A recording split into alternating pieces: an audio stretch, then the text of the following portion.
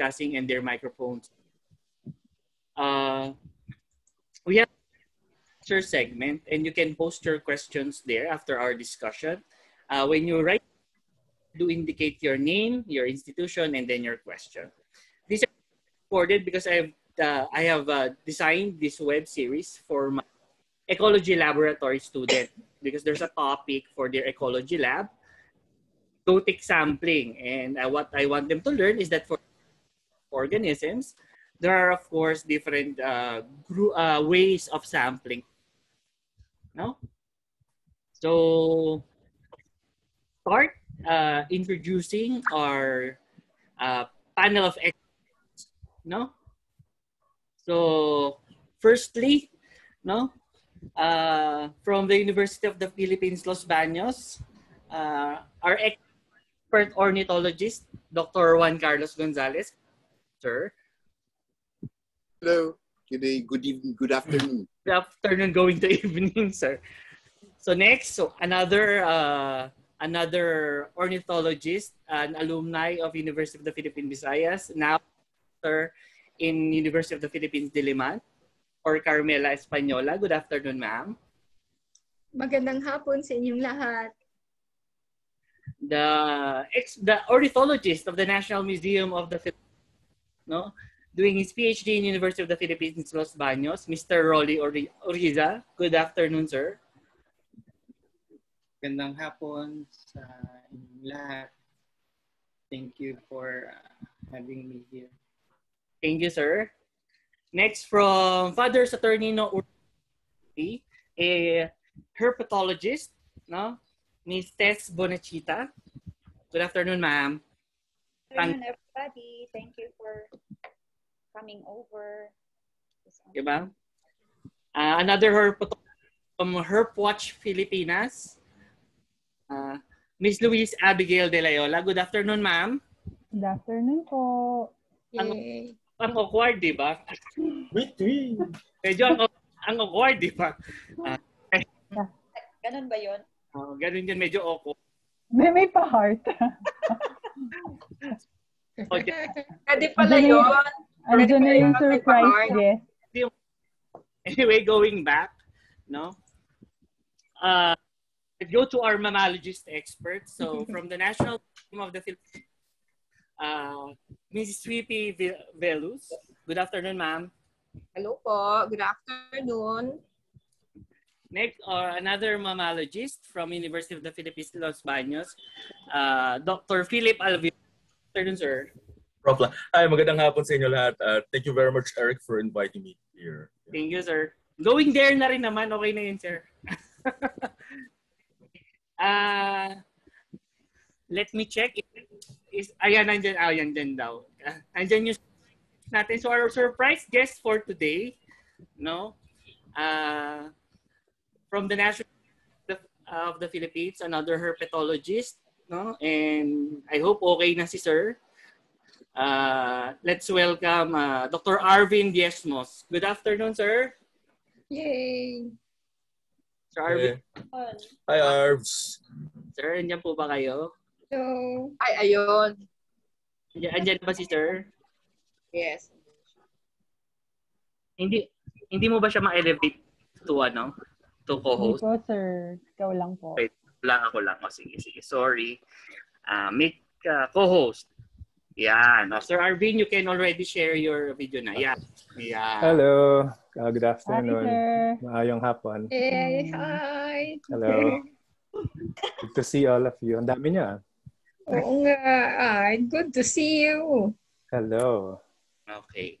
So today, no, we, uh, it's this is not a regular webinar it's rather than kasi it's a usual webinar no what we do is uh, we usually present the day the the results of a research or for example uh, the a whole study. What we're going to have is a focus group discussion on how do we take uh, samples from the field no? So how do we do field observations? Uh, and then of course how to basically analyze the data afterwards no? But before every uh, bit uh, so what we what the format of discussion is that I will ask some questions. Our expert panel will answer, and of course, they can also uh, add to the discussion if they want to. If they have their own questions, they can do as well. So it's just a free form, technically it's a free form discussion rather than na, kasi miss na miss na natin ang isa't isa, so baka miss nating magkwentuhan. So basically, that's what we're gonna do today. No? Uh, as we go through our discussion, hopefully our kahit sa kwentuhan sa this short kwentuhan na gagawin natin ay matut may matutunan yung mga estudyante natin. So ano I've designed this webinar also so that uh, biologists and other scientists all over the Philippines will probably know their experts. Uh, as I have observed uh, when, when, when I was a student and now that I'm also teaching in the University of the Philippines, is that uh, sometimes Filipino experts know more foreign scientists than experts themselves. So maybe this is an opportunity you know, for everybody to at least know each other, uh, get to know it, and hopefully have a good collaboration in near future. So let us start our short uh, focus group discussion. No? So first things first, uh, dun muna tayo sa pang Miss Universe na question at ang I'll direct these questions to Ma'am Lala, no? So, Lala, kailangan bang Miss Universe yung first question at ikaw ang unang sasagot? No? Tayo sa homegrown ng UPV. So, Ma'am Lala, um, basically, uh, it's it's quite uh, quite curious kasi ma'am, as we have discussed, no, when I was inviting you, uh, that the University of the Philippines Visayas mainly focuses on marine research. So what inspired you to do terrestrial research? But and why birds in particular ang naging focus ng study nyo? Um, wow, how to keep this short? Um, well, after I graduated, I really didn't know what to do with my life. Uh, I didn't know that I was really, uh, wala, siguro buknoy. I didn't know anything at all, no? Um, and then I attended a talk um, by German uh, scientists. And they were talking about the biodiversity of Panay. And it struck me that I knew so very little about Philippine biodiversity. Uh, it was such a big revelation to me that I graduated with a biology degree um, with this, ano, ano, uh, kabubuhan. Kabubuhan talaga. Um, nakakahiya. Um, nakakahiya na sa Panay mismo, where I grew up in, uh, where I studied biology, I didn't even know that there were critically endangered hornbills uh, in Panay. So, um, sampal sa mukha ko yun. No? Sampal din sa mukha ng mga nagturo sa akin. Hindi ako tinuruan. um, pero yun nga, na sabi ko, babawi ako, no? Because the environment is suffering, yet not a lot of people go into environmental studies, not a lot of people go into wildlife studies, biodiversity studies. Uh, konti lang. Um, because there's the notion nga na well, you won't earn much. Totoo naman, hindi naman ako uh, talagang mayaman na mayaman ngayon. Pero uh, yun nga, uh, hindi naman ako namumulubi. O, oh, di ba? So, uh, yun din yung nakita ko na ano, uh, well, anyway, that's the thing, no? Uh, may na, napukaw yung advocacy sa akin to inform a lot of people about the plight of the environment in the Philippines. And, and so I pursued this. No, I took up a wildlife studies master's and then I took up ecology for my PhD. And yun lang. Sige, I'll, I'll give the others the, the chance to, to talk. Um, so, perfect. Now it's it's quite also just it's quite interesting as well that Women's Month ngayon, no?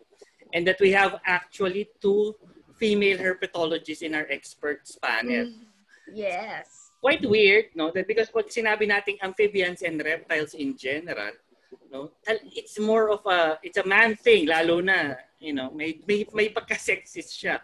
But we have two female herpetologists the panel. So I would like to ask first, uh, Ma'am Tess, no? So why herps? Bakit herps, no? Hindi ko sinasabi na dahil you're a female, no?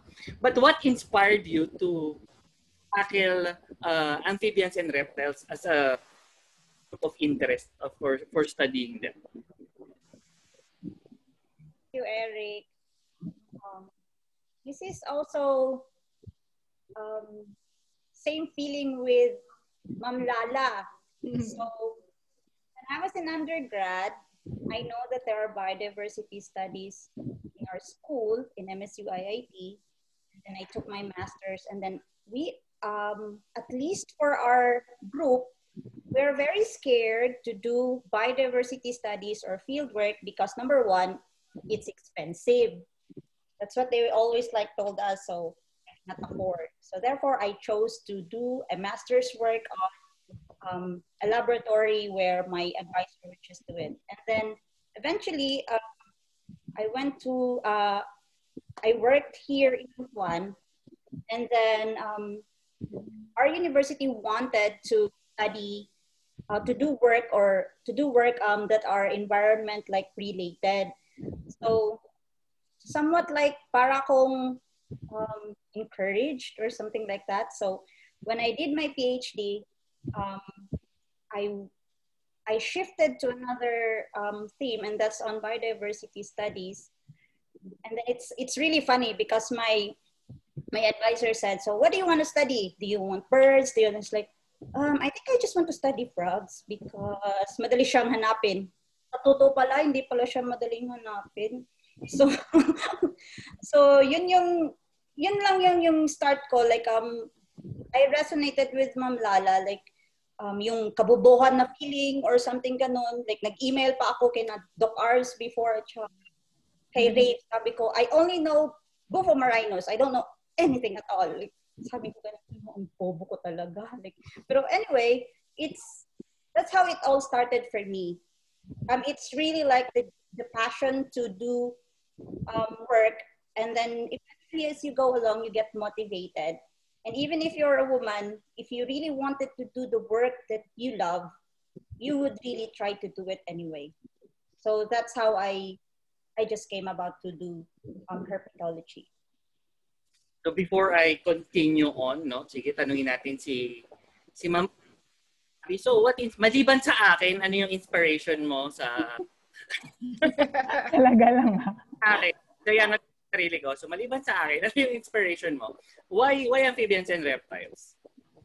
Actually, um, ang una talaga, una talaga niyan is, ano, um, ang una talaga, birds ang gusto ko talaga niyan. Kasi, kasi, hindi ko siya, hindi, ito yung hindi ko talaga ma, ano, ma, makakalimutan. I owe it to uh, Ma'am May, yung, um, wife ni Dr. Jesmos. I owe it to Ma'am May. Kasi, during our college years, when I was third year college, ito yung time na you're looking for a topic na for your research. Tapos parang sabi ni Ma'am May, advisor kasi namin siya dun sa organization, sa Biosoc. I know some of the students can relate to me. Ah, siya yung ano namin, advisor namin that time. Tapos sabi niya, ah, mag-invite tayo ng someone na iba naman, out of the box, hindi yung nasa lab, hindi, I mean, hindi lab work. So, in-invite nila doon si, syempre, si Sir Arvin, si Ma'am Lala that time, hindi pa, si Ma'am Lala. Opo. Then, the, for the mammals, si Ma'am Grace Ambal. Then, the organ, ganyan, eh, nag-present sila. Then, um, na-open yung mind ko to that topic na, ah, may ganito palang field ng bio na pwede kang mag uh, research, mag field work. So, hindi ko makakalimutan yung si Ma'am Lala talaga hindi ko makalimutan that time. you will always have um someone na magbibigay sa iyo ng ng um ng spark on the on the field that you really want. Yun talaga, birds talaga. Then eventually, sabi kasi nila sa akin, wala kang magiging advisor kasi that time nasa UST na ako. So, ayun, um, dahil um, familiar na din naman ako with Ma'am, uh, Ma'am May and Sir Arvin, I went to Sir Arvin. Pero, pero eventually, as I go along, dun ko na-realize na konti ang nag-aaral ng herbs. And eventually, I learned to love them kasi ito yung mga animals na kinakatakutan. Pero eventually, if you realize, sila yung may importance talaga. Kumbaga, um, um uh, how do I put it? Um, if you mo- go more deeply, sila yung um, in ano uh, sila yung animals na mysterious na may, mapapaisip ka na bakit sila bakit sila bakit kinakatakutan or pinandidirihan unlike with Mm-hmm. other animal forms. So yun, that's in, ano, yun yung um, in, naging inspiration ko why I'm doing doing this. Kaya pala, kaya pala mo, kaya pala ako, no, mysterious. Okay, kaya mas kailangan mysterious. But anyway, no. So going back not the small bits of uh, information, no. So now that we have a general idea no, what of what we are of the what are our scientists field. No? Uh, the main question is when we're out in the field, no, uh, for our specific groups of organisms that we study. Uh, the first dilemma, of course, is for a biologist: what sampling method should I use for a specific organism and for a specific habitat? So I would like to throw this question to Ma'am Sweepy. No, uh, Ma'am Sweepy, for your group of uh, organisms that you study, mammals, no, how for a specific habitat, for example, mangrove habitats, how do you choose what sampling method will you use to collect samples for either diversity or ecology analysis?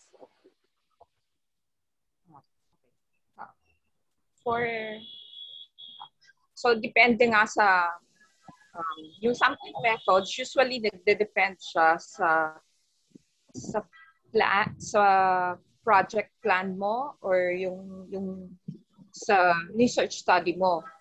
So kung um, if you decide to sample in um, like um, uh, mangrove area yung mga areas na surrounded by water. So, usually, wala kang choice, kundi um, uh, for mammals, uh, we set traps on ano, yung mga exposed branches, mga hindi naaabot ng ng water. It's usually um, ako kasi ano eh general yung ano namin sa National Museum we do general collection so walang kasi one one person yung aming mga sections or or taxa. So wala kaming choice. So kahit bats or or rodents or kahit ano kung kung kung may makahagip na large mammals yon kung meron pero usually large mammals I stay away from them um uh, di ko siya masyadong di ko siya masyadong kung baga sa um favorite. Hindi, siya, hindi ko siya masyado favorite. So, anyway. So, usually, uh, I bring rat traps, mist nets. Uh, usually, kung ano yung ginagamit ng mga birds for uh, mist netting, for for collecting birds, ganun din nakiki-share lang din kami. Kasi usually, pareho lang din sila ng flyways. And then, pero magkaiba lang ng time ng um, uh, like, usually, syempre, ang mammals, usually nocturnal. So, ang gabi lang kami. Unlike birds na 24-7, nandun sila. Pwede silang tumama dun sa net. So, uh, I also use harp traps. Although mahal yon So, dalawa lang meron ako. Salamat sa project. so, um, isa din yung ano, camera traps. Although wala kami, pero the last time na try na na-experience ko with UPLB um, si Miss Pau de Gia. So na, na-experience ko how to ano, yung set ng camera traps. Kasi uh, helpful ang camera traps for those mammals na um, usually um, nasa taas or hindi mo mahahagip ng traps. So, maganda siya. Maganda siyang option. Although mahal lang din, expensive. Tapos, kung dalawa lang, medyo hindi maganda yung, hindi productive. Um, so, uh, cage traps. Um, paggamit, cage traps is uh, usually kung wala kang balak na mag-uwi ng voucher specimens, use cage traps. Yeah. If you uh, only uh, do ecological sampling or yung uh, kung kukuha ka lang ng mga hair follicles, so, or blood samples, okay na yung cage traps. And also for um, observations, kung mag i-observe mo yung behavior ng animal. Yun. Um, kasi able to answer ng tama. Sampling methods, di ba? Opo, yes, ma'am. So, Sir Philip, would you like to add to that, especially for, uh, if, uh, correct me if I'm wrong, uh, you're, uh, I think you're doing ecological studies as well for for bats. So, what specific sampling methods are you using for when when you when you go out in the field, and uh, uh, what other criteria do you look for, no, to determine what appropriate sampling method will you use in the field? Uh, well, uh, yeah, good afternoon. Uh, great answer, Ma'am Uh, segundahan ko lang. Well, for Thank bats, you. well, I, I, I'm studying bats now. But previously, mga rodents din ba, mga, mga early 2000. But for bats, kasi we have 79 species, and then, well, generally they're subdivided into fruit bats, uh, non-echolocating to crudely echolocating bats, and then of course you have the the microbats, well, general classification. And then these microbats actually echolocate. So they use sonar or sound, ultrasonic sound or frequencies para makapag-navigate. So with this trait of, you know, of navigation, nakakapag-evade sila ng mist nets, ordinary mist nets. I'm sure uh, a lot of your students are familiar with mist nets.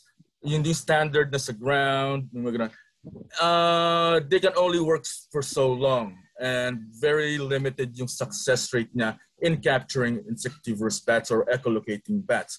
So mangyayari, baka magkaroon ng false negative or baka pagka, let's say, mag, mag-survey kayo using only standard nets, hindi mo talaga nasasample yung the whole diversity of of the bats that are present in the ano. So for for me, what I'm what I'm doing for the past 10 or 15 years is uh, employ multiple uh, capturing techniques So of course, nandiyan pa rin si Miss Nets on the ground. Uh, I also set up, we also set up nets sa, sa taas, sa canopy. Uh, tawag namin as canopy nets or sky nets or langit, mga ganun, or langit. And then of course, uh, meron din kaming uh, tawag dito, tunnel trap. Para siyang kulambo na pero bukas yung unahan. So what will happen is that a bat will enter the sa loob ng malaking kulambo and then there's someone inside with an insect net isasara nila yung kulambo and then yun, huhulihin niya na yung bat sa loob ng kulambo. It's, uh, it's a very fanta- uh, spectacular sight. Makita mo yung tao naghuhuli ng ng panike. Parang ang pwede nga siyang Olympic event eh. Pabilis ang makahuli ng, ng, ng panike sa loob. And then we also use, of course, uh, na-mention na ni Ma'am Sweeps, uh, harp wraps. It's a, it's, it's a bit expensive and cumbersome. Pero uh, the rewards, man, uh, yung trade-off medyo mahal, cumbersome, but the trade-off is really, well, talagang sulit na sulit. Talagang, uh, kasi it's a passive capturing device eh. Hindi mo na siya kailangang bantayan, so i-set up mo lang siya bago maghapon, uh, balik-balikan mo lang siya every, I don't know, every 3 hours, and then pagdating ng alas 10, matulog ka na ng gabi, no, alas 10, and then balikan mo na ng alas 5. It's gonna do its work by itself. Uh, unlike with your mist nets, uh, sub-canopy nets, uh, yung tunnel trap, ayun, um, medyo talagang labor intensive yan. Uh, know. And then of course we also use uh, VNets. I'm not sure if some of your familiar students are familiar with this. Uh, bale, dalawang misnet, ginawa namin parang letter V. So tinatapat lang namin sa kabilang trail. So using the concept of a tunnel trap but medyo uh, letter V lang siya. So pag may pumasok, uh, may, may mapasok na na in transit ng mga panike, but these are insectivorous bats, isasarado lang namin and then kuha. And then of course, we've been employing for the last five years as well yung uh, bat detectors. Uh, well, insectivorous, oh, uh, echolocating bats, mga insectivorous bats have their own unique echolocation signal or echolocation call. So may mga specific frequencies, may mga specific durations. Uh, uh, well, of course, these are ultrasonic, mga maabot lampas ng mga 20 kilohertz. Kasi ang human hearing, audible hearing is from, well, from 1 to 20 kilohertz. So these insectivorous bats can go as high as 150 kilohertz, so talagang ultrasonic. And you, yun nga, sabi ko, they have their own signature call. And once you record those calls, um, mahuli mo sila, ma-record, magkakuha ka ng voucher calls, pwede, mo na, pwede ka na din halos uh, hindi na kailangan manghuli ng mga panike as long as you have that library of calls. So pwede kang mag-transect, i-record mo lang, and then you check on your database, ah, ito yan, ito yan, ito yan. So uh, the downside is it's, it's, it's relatively expensive, although they're now making uh, some models that are uh, affordable. Uh, yun nga lang, uh, affordable, it's relative. Uh, pinaka-affordable yata is parang 17,000 pesos. Pero I, I, I really have to tell. Kasi ganun na rin ang labanan across the world eh. I mean, ganun na rin ang kalakaran ganun, uh, sa, sa buong mundo. Uh, everyone is using uh, eco, uh, bat detectors. It's been used since 90, early 80s. So, I mean, tayo sa Pilipinas, uh, ngayon-ngayon pa lang tayo nakakahabol eh. So, yeah. So, depende. I mean, uh, for first study, uh, you have to use multiple methods. You have to use multiple capturing methods para ma-ensure na uh, ma-reflect talaga yung true diversity. Otherwise, parang false negative lang ang lalabas yan if you're just confining your your your capturing methods to to, to one. Uh, maraming nawawala, maraming hindi nagpapakita. Okay. Sorry, I talked too long. Thanks, sir. So, uh, speaking of similarities between uh, sampling methods between mammals, uh, Sir JC, so what is what are the what are the unique sampling methods at least for birds na ine-employ nyo sa field? And uh, kasi sa birds uh, as because they are fly, no. So how do you limit your sampling area? No, ano yung criteria na ginagamit to limit your sampling area? And what are the used for sampling birds? For JC? Good. There's the unmute. Okay, thank you. So um Sir, nam- Ayaw pa rin? yeah, sir. Yan. Okay. Ayan. So you have to raise your question first. Ano ba talaga gusto mo malaman in terms of why using birds as a, a sam, uh, as a as a, a, focus taxon uh, to use into say ecological studies and diversity studies. Of course, diversity because um, birds are a perfect bioindicator. They're perfect uh, indicators of diversity. Uh, they're also quite easier to to study kasi uh, one, they're diurnal, so. Um, they're easy to distinguish from each other. If you have a field guide, then it's easier to, to look into form and function and shape and color. And also because it's easier to um, determine species easily, not just between um, color and function, but also with bioacoustics, sabi nga ni, ni Philippa, it's, for birds, it's all audible sound that you can actually distinguish or call. So it's easier to kind of ba para siyang default. Hindi ka kailangan magpuyat, hindi ka kailangan. So it's kind of like the default species. Hindi mo kailangan pumunta sa ilalim ng tubig, hindi mo kailangan mabasa. Palang perfect siya for, for study. But it's only a subset of what you have. Kaya importante na holistic yung approach mo. So there are a lot of sampling methods. Um, I'll just share this one for you. Uh, yeah. So for example, this one is a, it's actually, you can download this for free on the internet. It's Expedition Field Techniques, which we use for bird surveys. This is, I think, the 2000 version, uh, which is for free from BirdLife. So it actually encourages uh, people to do, especially students, to do their research. And andyan na rin lahat nung uh, yung sampling design mo, kasi kailangan alamin mo muna yung question. You have to know what your question is first before you can actually um, do your your sampling design. Ano ba yung kailangan mo? Uh, diversity pa ang gusto mo? Eh, population analysis ba gusto mo? Density pa yung gusto mo? alamin? Or do you want to look into, say, uh, networking between species, species flocks, uh, diet, niche partitioning? So it all depends on your question before you actually do your sampling. Um, so I think just an example, kasi sabi mo yung size. So I'll stop this one and show you this other one.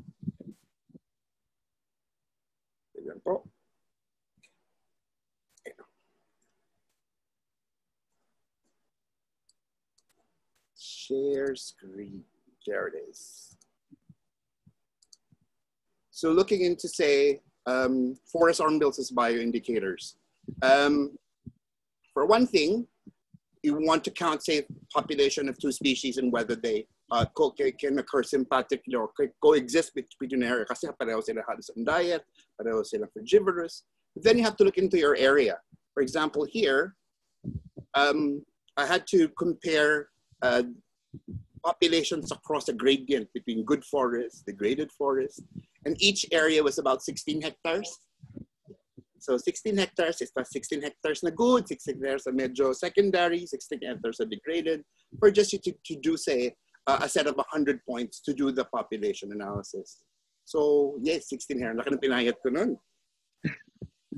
Walking across 16. three sets of 16 hectares. It was easier for me to do counts kasi with these species, isa lang yung, no, you can easily determine the call. Hindi naman siya, no? You hear it? With the rictic, with say the kalaw or the, the, the, the, the Rufous hornbill, you can easily hear the difference in the call.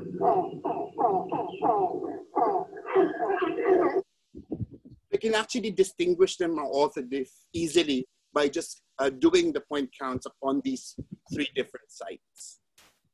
So you can have uh, an estimate of the population. So for example, here you have to look into say, ano yung uh, condition ng area. So you have to compare vegetation between those areas. So here you can actually see a difference between the populations. Between the rufous hornbill in red, of course, wala na siya sa degraded, and the more resilient species, which is a smaller Charictic hornbill. So this is just kind of one of those questions that you have to, to look into uh, before you actually do any sampling design. I'll stop there. Next. Thank you, sir. Ma'am Lala, would you like to add to that? What about other bird species?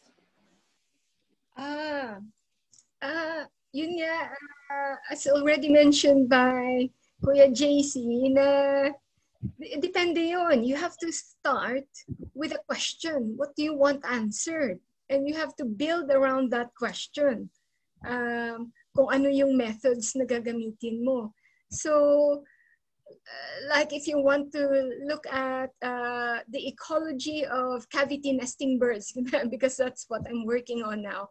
So, you probably need to climb up trees and then measure uh, the weight of uh, young parrots or young birds and then see how it develops over time.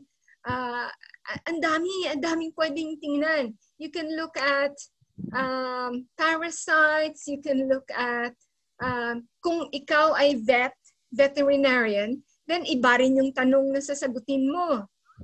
Uh, it can be um, it can, uh, you know, uh, ano nga ba, ito blood uh, parameters, no? Pwedeng yun yung tingnan mo. Uh, madaming pwedeng tingnan, no? Um, for my work, I tried to look at densities of birds. Ilan ba yung individuals per square kilometer? Madami ba sila doon? Or konti lang? Are they rare or not? Yun yung mga tanong na pwedeng, uh, pwedeng yung tanungin din, no? Uh, and then try to see uh, what is the number that you can find in a protected area.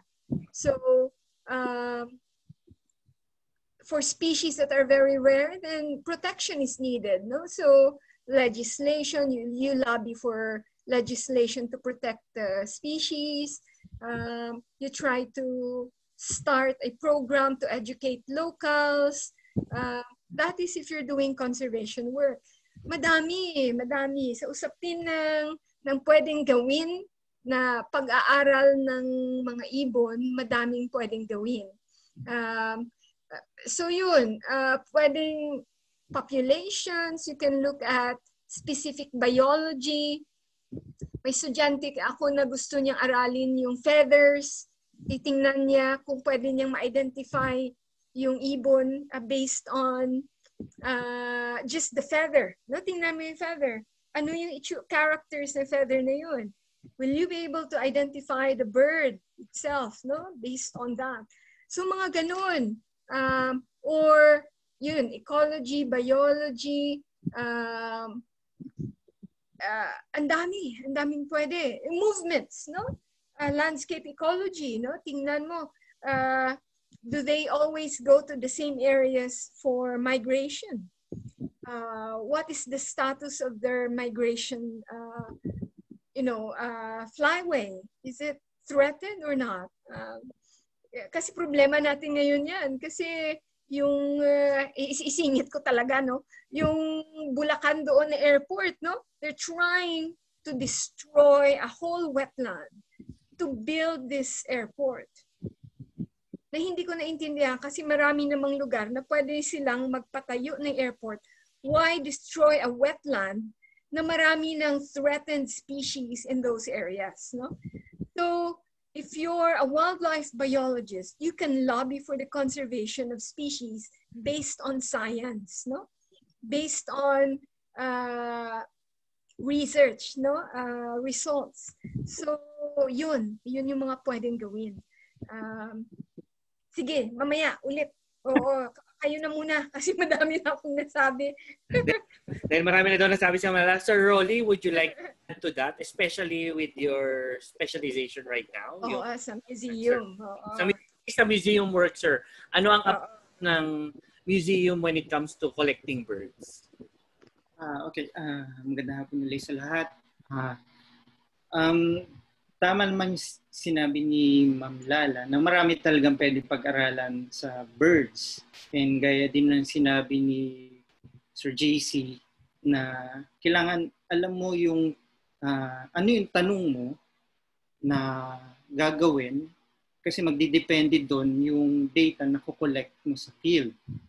Pero in terms of sa amin, sa National Museum, uh, since we collect voucher specimens, um, pinapractice namin yung isa sa mga popular na uh, method na pag-survey ng birds, yung uh, 2-kilometer transect. Uh, although uh, marami namang modifications na pwedeng gawin along the transect, pero uh, what we're trying to practice uh, in our survey areas is to maximize yung collection ng data. And then um, dun sa 2 kilometer transect na ginagawa namin, importante yung segment between uh, dun sa loob ng transect, like sinesegment siya ng every 250 meters. So magkakaroon ng at least nine stations doon sa 2 kilometer transect. And then we record uh, every uh, species na may encounter namin dun sa, sa transect. So what we're trying to to do doon ay to collect uh, and collect data and look for a, a pattern. Kasi may sa iba-ibang areas sa Philippines, kung mag-survey ka ng birds and using the same uh, baka may makitang pattern ng mga species like yung territoriality um, kasi may mga nakikita kami na for a particular transect, uh, dun mo lang talaga parati nakikita yung or nare, nare-record yung isang species ng bird. So baka may mga ganun na pattern. So yun yung uh, ginagawa namin uh, using the 2 kilometer transect. So to collect, uh, to maximize data na makukuha namin doon and then to look for patterns in the future kung maka-accumulate kami ng maraming data sa maraming lugar sa Pilipinas. So, yun naman yung uh, ginagawa namin. I think, thank you, Sir Rolly. So, jumping from birds back to the ground. So, let's talk about uh, herbs naman. Sir Dolam, uh, uh, this question is for Dr. Arvin Jesmos. Uh, though lumped yung amphibians and reptiles, uh, what are the major differences, sir, between sampling for amphibians, sampling for reptiles, for either diversity or ecological studies?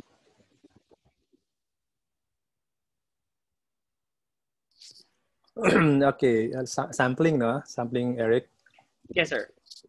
Okay. Uh, siguro, ano, mag-hello muna ako sa, uh, hello everyone. Uh, uh, it's great to see you, mga old friends and uh, mga, mga students, new students. Um, ano nga yung tanong mo? Sampling? Lump together, sir, yung herbs, amphibians and reptiles. Ano yung Ah, eh. Uh, uh, din amphibian? siguro ano, i mag-step back lang tayo ng konti. Yung uh, ang herpetology kasi, again, one of the um, major uh, group to study here in the well global na. Uh, pero of course, you know, any group naman that you will you, that you intend to study, especially sa Philippine setting, very important. No?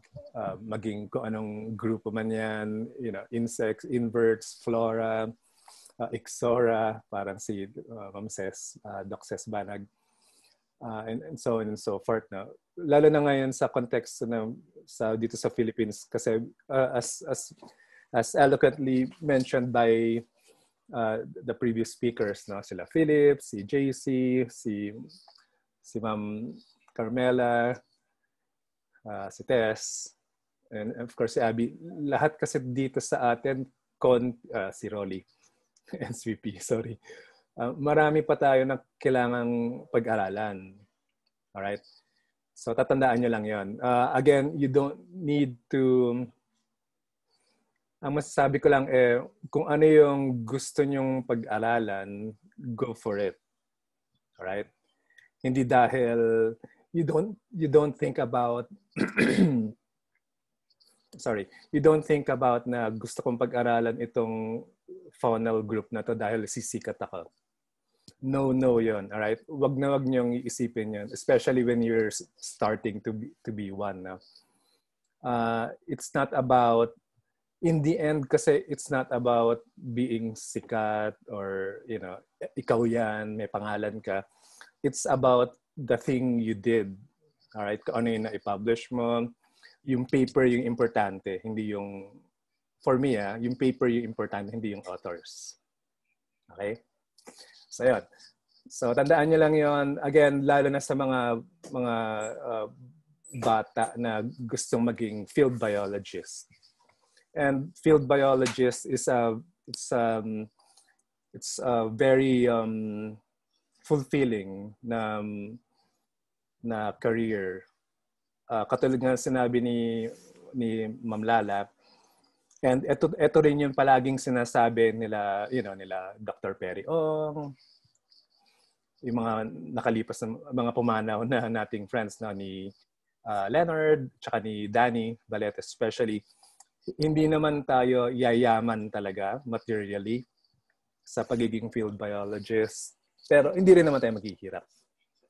Alright? Sakto lang, kumbaga. Okay? Tapos, uh, ayun, um, just uh, do the science itself. Okay, mabalik tayo sa question. Uh, ang herpetology kasi uh, for the longest time, ang mga Western science, science natin, nilamp ang amphibians and reptiles, right? Pero as we all know, based on genetics, you know, phylogenetics and so on, malayo talaga sila. They're not actually quite related. Di ba? For example, ang reptiles more related sa birds, di ba? Ang amphibians, uh, nauna kasi siya eh. Uh, nagsimula yan sa may, may mga may aquatic kasi sila. So, medyo fish pa nga sila related in terms of other groups. No? So, in terms of sampling these two groups, definitely magkaiba rin. Okay? Uh, amphibians and reptiles, definitely kailangang you need to be sampling during the day and also at night. Alright? Uh, tandaan nyo yun. Kasi magkakaiba yung lifestyles nila eh. And if you guys are uh, planning to do a study, yung kunyari master's thesis muna, uh, I would, uh, uh, well, hindi ko i-encourage sa inyo to do uh, herpetofaunal thing. Just focus on a, on a certain group. Para, number one, madali kayong matapos. Kasi importante graduate kayo. okay? Number two, uh, it's doable. Alright? Number three, uh, mas malaki yung maidadagdag ninyo sa um, science if you do a specific you know, if you tackle a specific question. Eh. Okay? So mag, again, magkaiba kasi yung sampling methodologies sa both groups and mahirap talaga ito. Um, uh, doing field work is probably the best part of your of being a field biologist. Lalo na kung mga bata pa kayo. All right? Pero pag kami pag guma Parang si JC. Si JC 55 na yan. Ako 51 pa lang ako eh. Um, um, med- medyo may mga considerations na kay, kasi to do field work. Pero syempre kaya pa rin. Na? And um, doing field work is one of the best part ng being a field biologist like us. Na? So yun yung hindi yung enjoyable part. Eh. Pero of course, the other parts, you know, coming up with the question, yun yung importante. Um, research question. And then knowing your methodologies, importante yon. And then of course, writing your thesis. Um, uh, well, siguro yun yung nasa top. No? Uh, kasi yun yung magpapatapos sa iyo sa iyong um, degree. Okay. Uh, again, babalik lang ako sa tanong ni Eric kasi ano na, no, halo-halo na. I guess pag tumatanda ka, ganun talaga. No? May okay lang. Wis- may mga, may mga wisdom na kuno. Uh, methodologies are vastly different. Uh, amphibians and reptiles. Uh, kung kayo ay mag-amphibians, kailangan nocturnal rin kayo. Kung mag-reptiles kayo, ganun pa rin. You have to sample both during the day and at night. Kasi marami pa ring mga species ng reptiles na active during the night. And usually ang amphibians natin active during at night. Although may mga, again, may mga na, na, na tayo ng mga species na crepuscular or uh, depende rin sa sa atmospheric conditions. Kunyari biglang umulan, magiging active sila. Eh. Alright.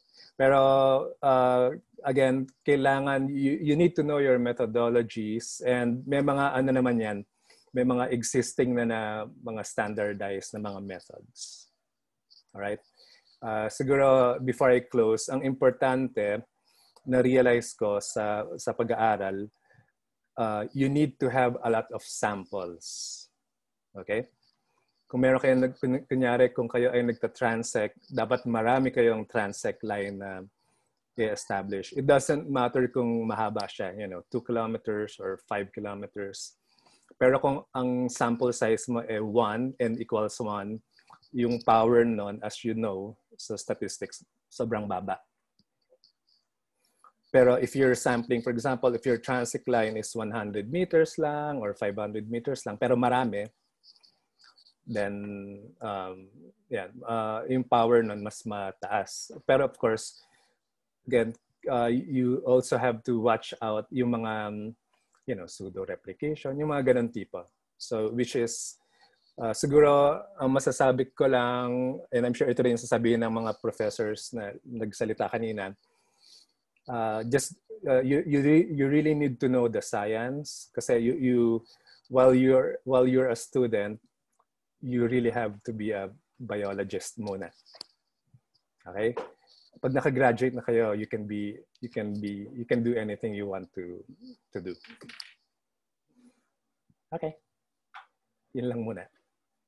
Thank you, Sir Arvin. So going from getting biotic samples, one of the more important things as well when we do ecological and diversity studies are also the abiotic factors. No? So to go into that discussion, may I ask uh, Ma'am Abby, no, for for herbs, for amphibians and reptiles, for example, of course, you need to have a specific question first, no, before you determine what specific abiotic factors you will measure. But uh, my question is, what are the common abiotic factors that are important for your group of interest? For example, for you, Ma'am Abby, amphibians and reptiles. So ano yung mga abiotic factors na commonly na mini-measure nyo sa field and what how do you measure them and what are the equipments that you that you use to measure abiotic factors? Okay. Um yung mga ano ito nga abiotic and biotic siya eh, factor. So both. So for different um animals naman, may ano yan eh, um, may different um, variables silang kinukuha which is ito yung base based to kung saan din kung saan sila mostly saan sila nakikita or kung ano yung habitat nila. So for amphibians and reptiles which is um this one um uh, based din naman ito sa mga um publications sa mga literatures. So for ano for amphibians and reptiles for the um, biotic and abiotic mga biotic factors that we get or the variables that we get is like yung um, canopy cover. So for the canopy cover, we're um uh, we're using uh, call this one. Basta for the canopy, uh, canopy cover, kinukuha namin yan. For the undergrowth and the, for the undergrowth, kinukuha din namin yan. Yung pati yung um, yung leaf litter. The leaf litter, kinukuha din namin yan. For the uh, for the leaf litter naman, ito ay kinukuha namin ito para makuha namin din ang moisture content. Yan. Uh, what do else that we get from the ano from from the from there um for other naman for the other studies that I see um they also get the number of logs. Yan. Um, rocks kasi tinitingnan itong mga logs and rocks na to. Dito nakatira yung mga lizards. Mo, uh, ayan, mga mostly mga ano to, mga skinks. Yan, diyan sila diyan sila nakatira. Yan, tinitingnan din, din nila if the, yung area, yung air, study area nila is may kung marami bang fallen logs, marami bang decaying logs. So within for herbs kasi ang ginagamit naming transect is 10 meters by 100. So 100 meters yung haba ng transect. So within that 10 by 100, doon kami uh, nagbibilang, nag nag-check ng mga environmental variables. So, yun, um, may, ma, meron din per point, meron din um, from the uh, from start, from the middle, and uh, from the end. Yan, mga mga uh, ganun yung method namin ng pagkuha ng mga environmental variables. Thank you, Ma'am Ma'am Tess. Uh, what other uh, data do you collect when you do when you do of course you do you collect your samples you bring them to the lab. Uh, ano pa yung mga data na kino-collect nyo when it comes to the, whether diversity or ecological some uh, uh, studies? Uh, what other data do you get from your samples that is uh, very relevant to your study? Um, salamat again Eric. Um, just an example of the current studies that we are doing, um, we do feeding niche analysis for amphibians and reptiles, but basically now we, we have we have gathered um, diet diet data for amphibians. So even in the field, after we collect them, we take out their um, stomachs and we put them in a um, in an uh, 95% alcohol, and then we bring them to the lab. We also um, get um, muscles from the legs of the amphibians or even like reptiles. So we also take that to the lab. So when we are in the lab, we, of course, we open the stomachs and then we get the prey items. So we identify what they are eating. And um, we use the leg muscles for another type of analysis, which is um, stable isotope analysis. What we really wanted to understand is um, um, how the uh, how amphibians or how amphibians are partitioned in in the environment. So how do they um, allow one from the other to like um like how they survive there even if they are like lumped in one area. For example, for one riparian community where there are so many amphibians. So how are they um, how are they distributed within the stream?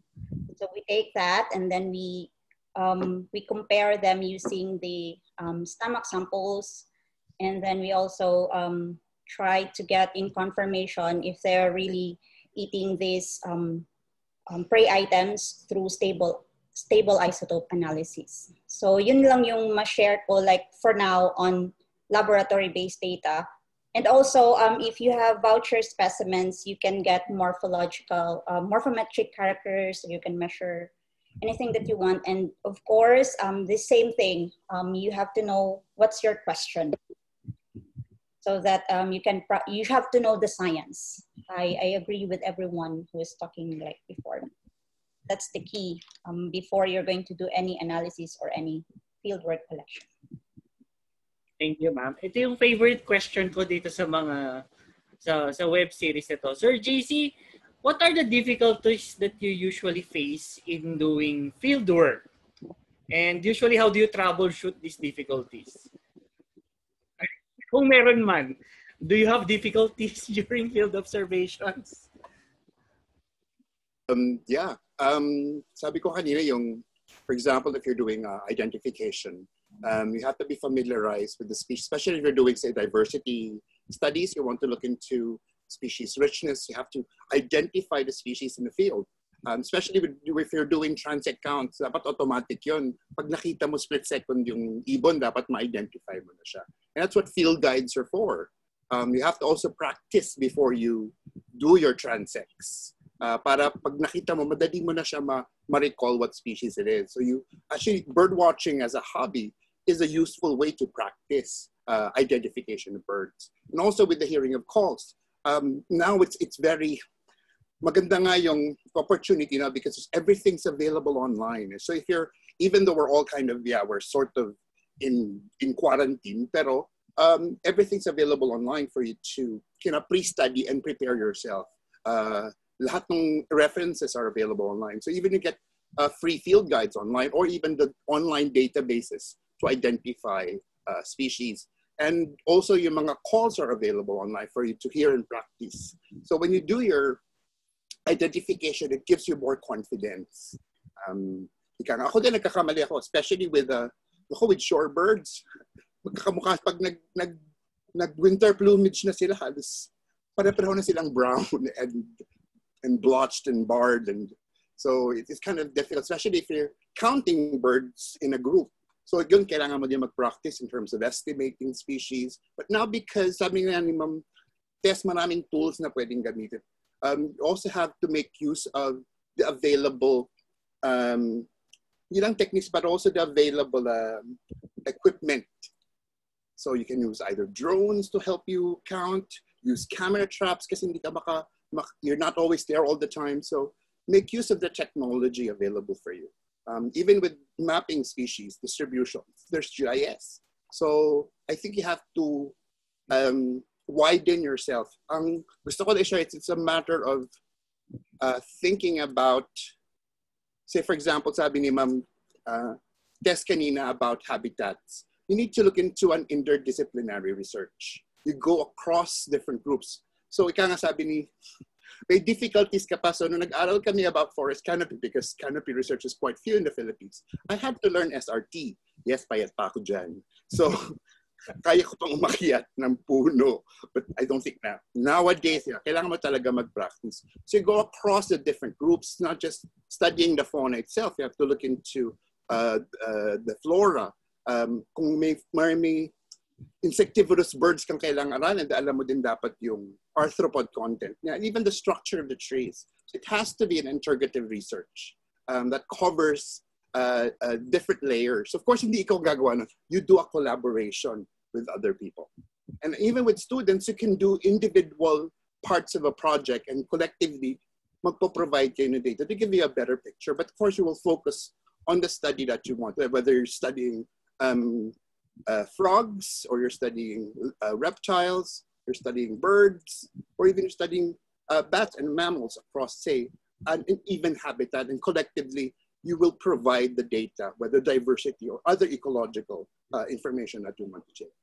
So, yun po. I'll stop there. Thanks, Sir JK. Ma'am Lala, would you like to add to that? Ano po yung mga difficulties na usually na-experience ninyo when you're doing field works? And how do you usually troubleshoot those difficulties? Ah, uh, difficulties. Well, uh, before we've had issues with um, dealing with uh, local authorities that think of us as a bunch of girls uh, up to nothing. No? Kasi uh, dati mga kasama ko sina Nick Dai, sina Jolie, uh, puro kami girls. Tapos we're leading an expedition na ang kasama namin mga katutubo, mga kulot. So, alam mo, it came to a point na nainis ako kasi medyo mababa ang tingin nila sa mga kasamahan namin na katutubo. Napakulot ako ng buhok. Pakulot ako. Ay, sino yung mga, o sino yung sinasabi mong kulot? Kasi kulot din ako eh. No? Para just to drive the point that um, yun nga, uh, huwag niyo i-discriminate yung mga kulot and uh, uh, tsaka yung mga babae lagi nila sinasabi, ah, sa tingin ko, hindi nyo kakayanin yung doon, yung doon. Sina, mga limang oras yung lalakarin. Paglakad namin ganyan, isa't kalahating oras. So, yung mga, may ganun, uh, nararanasan namin yan. Uh, ako personally, I think na I don't even, I don't even experience this discrimination among my colleagues no, in the academy pero sa mga locals na pinupuntahan ko, hindi sila makatingin sa mata ko. Kinakausap ko sila about certain species. Alam niyo ba yung ito at itong hayop na ito, itong ganito, in interview ko? Hindi makatingin sa mata ko dahil babae ako. Yun yung conclusion ko eh. Kasi pag tumingin sila sa iba, nakasamahan ko na lalaki, yung kinakausap ako pero yung tingin niya doon sa lalaki ko naka, nakasama. Yung mga ganun uh, nakakainis siya, pero uh, okay lang. Nasanay na ako sa ganun. At saka, uh, I show them who is boss. Lala, Lala ba- baka naman may crush sila dun sa kasama niyong lalaki. may Di ba? point ka! Ah. Oo, yung posible talaga. Posible, oo. Pero yun nga, uh, paminsan nakakainis kasi uh, maliit ang tingin nila sa mga kababaihan. Uh, isa yun. Isa yun sa difficulties. Ano pa yung ibang difficulties? Um, yun, uh, well, ito, I've been passed up for work before kasi ang sabi nila, eh, babae yan eh. Oo, yun yung sabi. Ah, wag na lang yan kukunin sa, sa expedition kasi babae yan uh, ito yung kwento sa akin, pinalusot lang sa akin. So, uh, natawa lang ako. Uh, so, nangyayari din siya, yung ganun.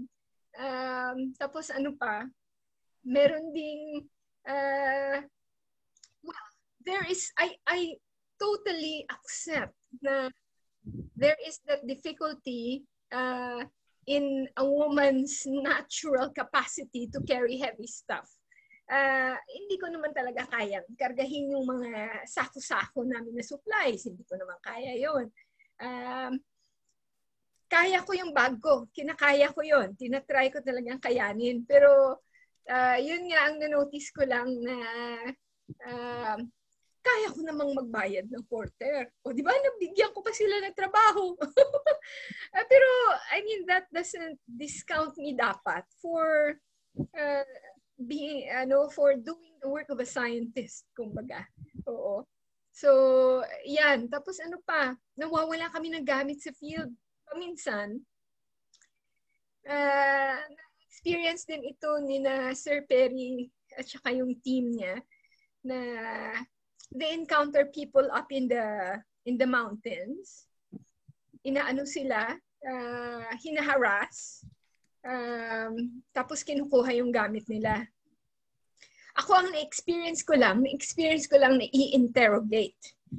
Every time na I go to a new site, I always go to the nearest na military outpost. Magpaalam na ito, ito yung team ko, ito yung mga itsura namin ito yung mga pangalan, ito yung contact details, binibigay ko yan.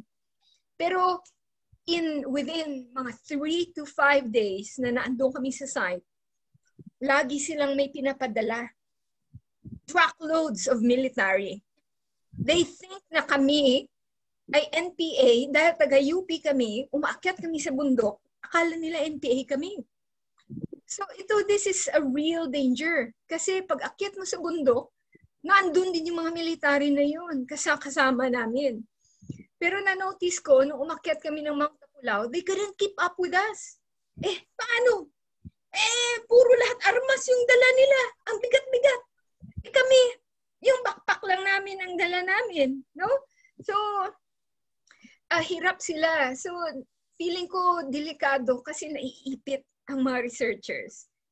At saka hindi lang researchers lumabas na ang issue na ito because the researchers are able to voice out no yung mga dangers sa ganito pero yung katutubo na andun sa bundok na yon this is their experience every single day kasi sinasabi nila ay ano yan informant yan ng military doon naman sa kabila informant yan ng NPA So, walang papuntahan itong mga katutubo, no? So, I'm just raising some of the issues na nakikita namin sa field while doing field work and research, no? Uh, nakakalungkot. Uh, yun siguro, those are the difficulties na uh, we've encountered na delikado talaga. Uh, one time, nagkaroon ng clash uh, doon sa bundok nung pumunta kami sa sa Abra kasi ano yun eh, sa border na ng Abra at Kalinga. Um, pagbaba namin on the day na bumaba kami, narinig namin na nagputukan doon sa taas. Tapos na, nalaman namin na doon sa lugar kung saan kami umalis, uh, meron uh, encounter na nangyari. So apparently, uh, may mga NPA doon hindi namin alam na nandun pala. Tapos nag-clash doon sa umakyat na military. Anyway, uh, mga ganun. There was one time na ini-interrogate ako ng ano, uh, uh, nung una, mabait pa ako. Ay, magkapiho kayo. Ayan, may pandesal kami na binili nung sa baba. So, yun, kumakain na siya. Yung tanong pa ulit-ulit, parang naluloka ako. Hala, to a point na pinu... Sandali lang, kuya. Sandali lang. Yung tanong mo na yan, nabilang ko eh beses mo nang tinanong sa akin. Ano ba, naglulukuhan tayo? Kasi araw-araw na, sa kada oras na pumapatak, nagbabayad ako sa mga tao na ito, lugi ako. Ginanon ko. Ako ay lalabas na ngayon, mag-field work, ako bahala ka sa buhay mo. Ginanon ko talaga yung military. Sa sobrang galit ko na paghihinalaan ako, tapos maayos naman yung coordination ko, may papeles ako kompleto na, pinakita ko na sa kanya. Days before, weeks before, nag-coordinate din ako sa main main nila. Ganon pa rin ang ginagawa. Hala, sabi ko, bahala ka sa buhay mo. Ako ay aalis na, sabi ni Nick Dai sa akin. Ma'am, ako nang kumausap, umalis ka na kasi nagalit na nga ako. Nainis ako. Pero anyway, this is a, a danger that the uh, scientific community should address. Dapat talaga may hanapan natin ng paraan ito para ma-reduce yung, yung, yung risk and yung danger to us while we do field work. Kasi nakakainis na yung ganun eh. O lagi na lang, lagi na lang talaga. NPA kami dahil may larga vista. Dahil may sako-sako ng bigas. Dahil may mga kagamitan na spotting scope. Uh, ano na kagad? NPA? Ay, nainis ako. Naku, anyway, ang dami ko na nakwento. Sige, Eric, go ahead. po, ma'am. Uh, so from from the difficulties in the field, so to be more specific, no, uh, Ma'am Sweetie, best and worst experience uh, while doing field work?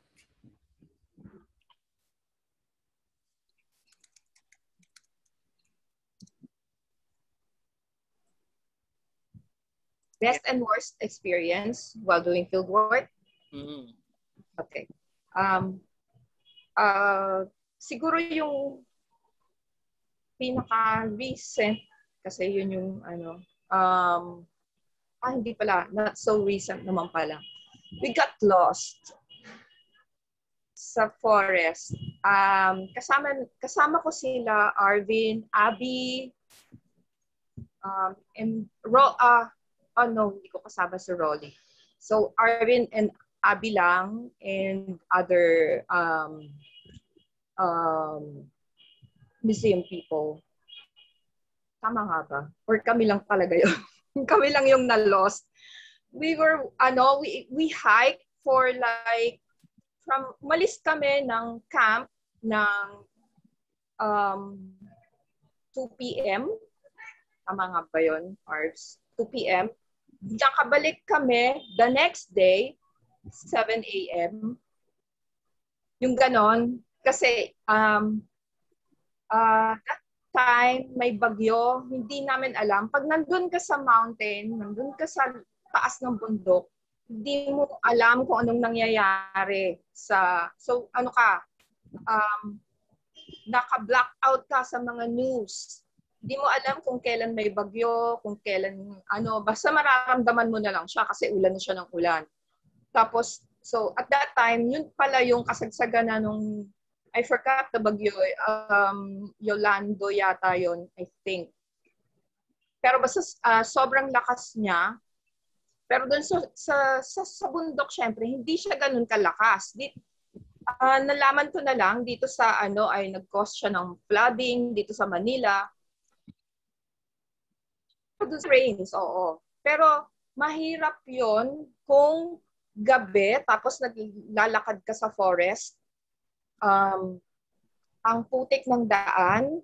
So, uh, wala, uh, magpapaslide ka na lang kasi hindi mo na hindi ka na makakaano talaga kasi sli- super slippery na. Tapos, uh, yung trail, wala kang masyadong mahawakan, kundi puro sanga-sanga. So, hindi ko na iniintindi kung ano yung nakasabit sa mga sanga. Sa, si Abby na lang nagsasabi sa akin na later on na, Ma'am, alam mo ba, isang dangkal na lang yung kamay mo dun sa pit viper something like that, mga ganong bagay. Pero ako hindi ko nakita. Buti na lang din, or else nagpanic ako siguro. So, good thing na hindi malabo mata ko at hindi ko masyadong pinapansin yung mga yun. Siguro sa pagod na din kasi uh, mga 12 hours siguro yun na, na lakad. Oo. Oh, Dahil pang multo, no? Oo. Uh, ang reason ay, kaya kami na lost kasi iniwan kami ng guide namin. Um, yun yung problema sa field work. Kailangan yung mga magaling ka mag-scrutinize or minsan swerte din, minsan minamalas ka. Napupunta sa yung guide, matigas yung ulo. Pag gusto nila, umuwi na, uuwi na sila. Ayaw na nilang, ano, ayaw ka na nilang intindihin. At saka kung gusto nila shortcut, mag-shortcut kahit mahirap, kahit bangin yun, gusto, yung gusto nila, yun lang yung masusunod.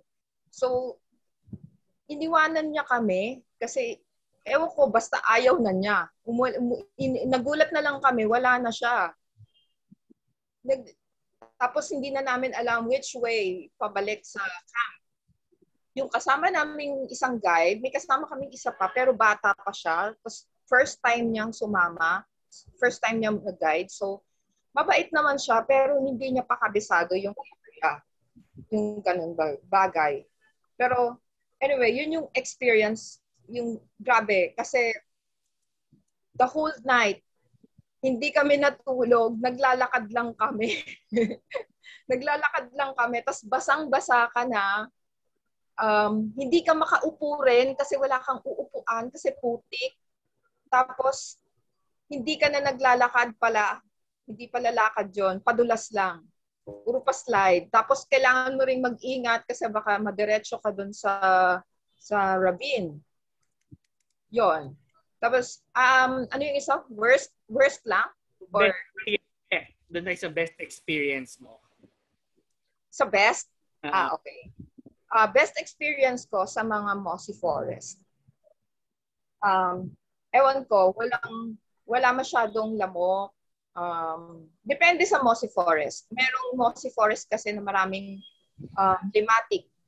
Isa pa yon isa pang ano yon isa pang worst experience yon yung mga uh, leeches uh, reach leeches from the ground from the from the trees kahit saan tumatalon lang sila magugulat ka na lang nasa balat mo na sila so yon uh, and if you have allergies sa mga uh, bites nila nagkakaroon ng reaction yung yung dugo mo. So magkakaroon ng infection kahit hindi mo siya kinakamot. Tapos or or sobrang kate. So matagal gumaling. So isa 'yon sa worst din pala. And then 'yon. So yung best is um like yung Amu, Mount Amuyao. I love that place.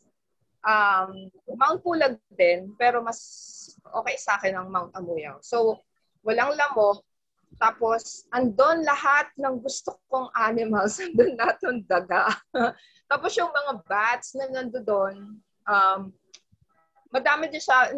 Hindi, uh, um, yung time kasi na yon um, bago-bago lang ako. Uh, yun yung first ko makakita ng mga bats na from the forest talaga. So, ang cute. Yung ganun, ma-amaze ka. Yon. Although, ano siya, yung height niya is hindi biro kasi talagang matarik and then mahihingal ka.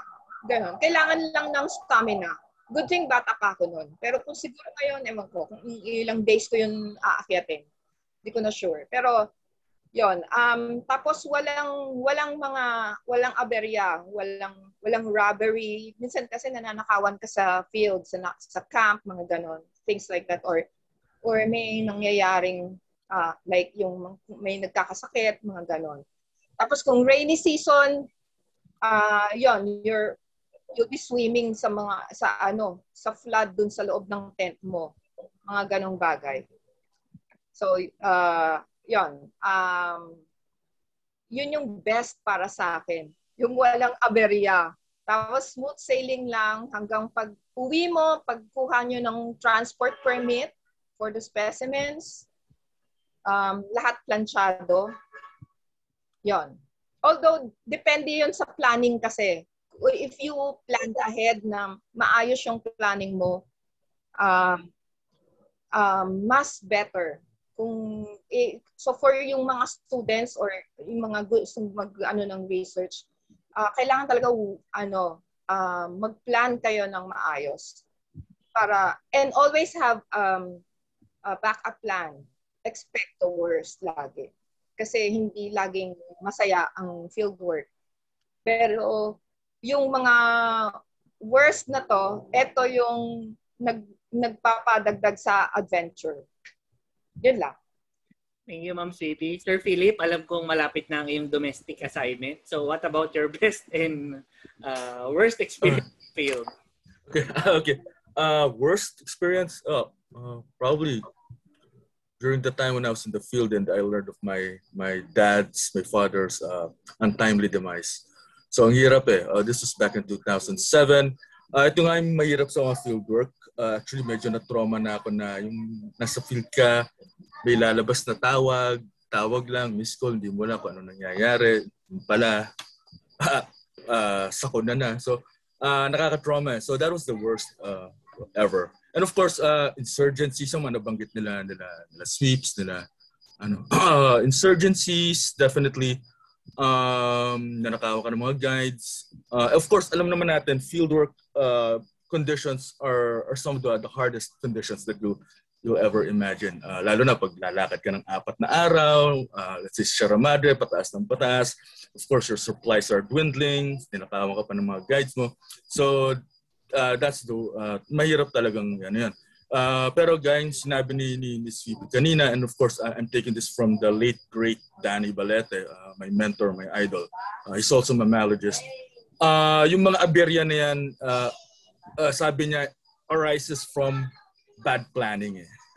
yeah, well, Danny was a perfectionist, definitely. Pero I've joined with Danny on his field work with, with Larry Heaney, and I would say that that was the best field work that I've ever experienced. Talagang planchado lahat, kung gaano kameticuloso si, si Danilo sa, sa lahat ng mga bagay, sa mga guides, yung pakikipag-usap sa mga, sa mga community, walang nangyayaring masyadong masama. Uh, the supplies are all kasyang-kasya. And of course, the, the, the science part of the fieldwork was really, really fun. Uh, so yun na nga, uh, pwede mo maiwasan. So ang advice ko rin sa so, mga estudyante na mag-fieldwork, piliin nyo yung mga madadaling lugar na puntahan. Yung, it doesn't really involve complex uh, logistical planning. Uh, I mean, kung let's say for example sa UP Visayas, uh, if you can do a survey first of your campus, so be it. Madaling gawin niya, lalo na ngayong pandemic. Uh, like ito, mga estudyante ko nung uh, before, uh, ano, uh, pwede within Los Baños lang muna, within the UPLB campus. And I would, I would, I would suggest as well, uh, for your students, Eric, na uh, start simple, start ano, yung wala masyadong aberya. Uh, I mean, you know about Murphy's Law, that uh, in, the, in the, every field of human endeavor, everything that can go wrong will go wrong. And of course, you, you can minimize that uh, uncertainty. Eh, na, ano, kung if you wanna, medyo dalian lang yung logistical preparations. As long as na very sound yung mga questions, research questions that you want to answer. Pero yun na, that's my, my, my advice. Talaga, simplihan nyo lang yung lugar na pupuntahan ninyo. Wag muna kayong pumunta, let's say, sa sa dulo ng Mount Apo or do a elevational transect, let's say, for example, uh, I don't know, in, in some parts of Panay, in Pandan Peninsula, or in Gigantes Island, uh, simplihan lang. Uh, yun lang. Oh, I have to leave. Sorry. Uh, no, domestic na. Uh, I had fun, Eric. Uh, yun, papaalam na po ako. Uh, regards to all the who participate, mga experts. Uh, good evening. Hi, Philip. Okay, bye-bye. Bye, Philip. Bye, Bye, the kids. Now, now go to the question and answer uh, portion of this uh, webinar talk. So we already have questions here. No? So let's start with the with a, a question from Mr. Wilhelm Tan. Now, uh, any of the experts may answer this. So as of profession, who won't be rich as a biologist, but is it enough money to at least survive and let's say meet the needs of a family? Have one. Uh, I uh, uh, probably Dr. Arvin Jesmos, would you like to comment on this one?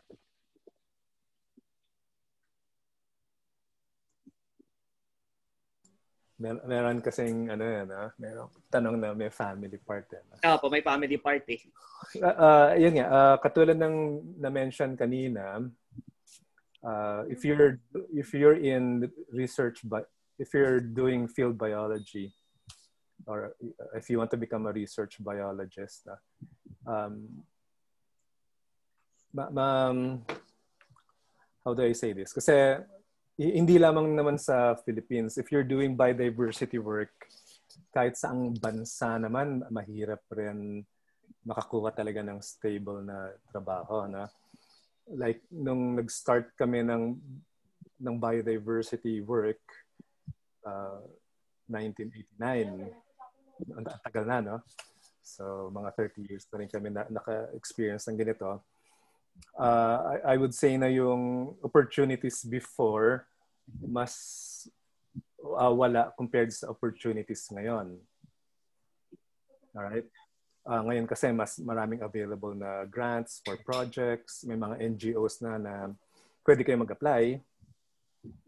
Um, pero for the most part, y- yung ang, ang kulang kasi sa sa sa ganitong ano natin, sa ganitong uh, discipline eh, uh, after you graduate, kung ano yung kung meron kang mapapasukan na work na you know uh, stable or may item, may permanent mahirap kasi. okay. Unless you, you want to go into the academe. Okay? Kasi yun naman yung mga choices natin. Eh. If you're doing field biology or biodiversity studies, nasa academe tayo, which is wala namang problema. I mean, maganda nga yun. Uh, lalong-lalo na i, i ano ka lang, ah, i-promote ko yung mga state universities go for it. Yung lalo na yung mga nasa regions, nasa provinces. Uh, wag na kayong uh, makipag um, don't uh, kung may available na position sa regions, go for it. Uh, wag na sa Manila, wag na sa Metro Manila. Okay? Uh, for many, many reasons. Uh, una-una yung sa nagka-pandemic, Manila talaga yung uh, pinaka masama yung nangyayari na. And it will happen again kung pandemic ito. It's just a start. So anyway, um, DNR government, yes. Uh, I would encourage you to go into government. Uh, kami nila sweepy sa government kami. Um, nila Rolly na. Uh, it's a different kind of animal compared to a state university. Uh, ibang klase talaga siya. Uh, good, good good and bad, no? Pero uh, I guess ano lang naman yan eh, kung ano yung makakontribute mo as a person dun sa biodiversity research, yun yung mas importante. Alright? Uh, NGOs, isang, uh, ano yan, isang um, uh, channel. You can start your own NGOs. And in fact, yung mga maliliit na NGOs, yun pa rin yung talagang very effective in really um, uh, making uh, great contributions sa biodiversity uh, conservation sa Philippines. Uh, we, we did a paper on that mga 15 years ago. Ganun pa rin naman yung situation, honestly. Eh. And so, so yun, uh, it's improving. Again, you, you, you shouldn't be discouraged. Na, pero kung kailangan if you want kasi yung um, anong term din, instant gratification, hindi mangyayari. And um, ang palagi ko na lang sinasabi sa mga students and sa mga young people, na, lalo na yung mga talented, you know, uh, if you can contribute naman to biodiversity conservation and research, kahit hindi kayo nasa biology or hindi kayo pumasok na NGO or uh, wala kayo sa government, you know, DNR, uh, DOST and others, pero nakakapag-contribute pa rin kayo, meron kayong sariling business, why not, di ba? Okay naman, basta importante, uh, nandun pa rin. Ang end goal natin is to to to learn more about our biodiversity uh, and then to try to cons- uh, contribute to saving them. Right? Pero again, um, since ako ay taong gobyerno rin, for me, basta importante na mapalakas mo yung government. Eh. And yun yung, uh, when we joined an NGO about 30 years ago, Haribon, Nordeco, yun yung na-realize namin na uh, importante pa rin na dapat uh, ang government, you know, DNR, especially DNR kasi we're talking about environment and ano, biodiversity na, well-equipped, uh, tapos yung mga tao knowledgeable, and um, uh, ano siya malaki yung naitutulong sa you know sa sa sa sa um, sa biodiversity conservation. And it's changing naman right on a positive note it's changing. Uh, the BMB the biodiversity management bureau now is much much better compared to about 30 years ago nung uh, when we first um, you know, bata pa kami na una kaming nakapag um, uh, what's this um, naka-work with with the government sa DNR. Things are much better now kasi importante rin yung tao. Okay, as long as you have good people in the government, uh, okay yan. Kahit tahimik lang kayo, usually kasi yung mga tahimik, yun yung mga, di ba? Yung mga maiingay, yun yung mga puro maingay lang. uh, just do your stuff. Uh, yun nga, uh, since mga bata pa kayo, do good science, you know, uh, just uh, galingan nyo, you, you collaborate, you listen to your mentors, uh, uh, ask for advice, be kind, okay? Huwag kayong magmamayabang. Importante yun. Ha? Isa yung sa mga natutunan ko. Huwag kayong magmamayabang masyado. Kahit konti lang.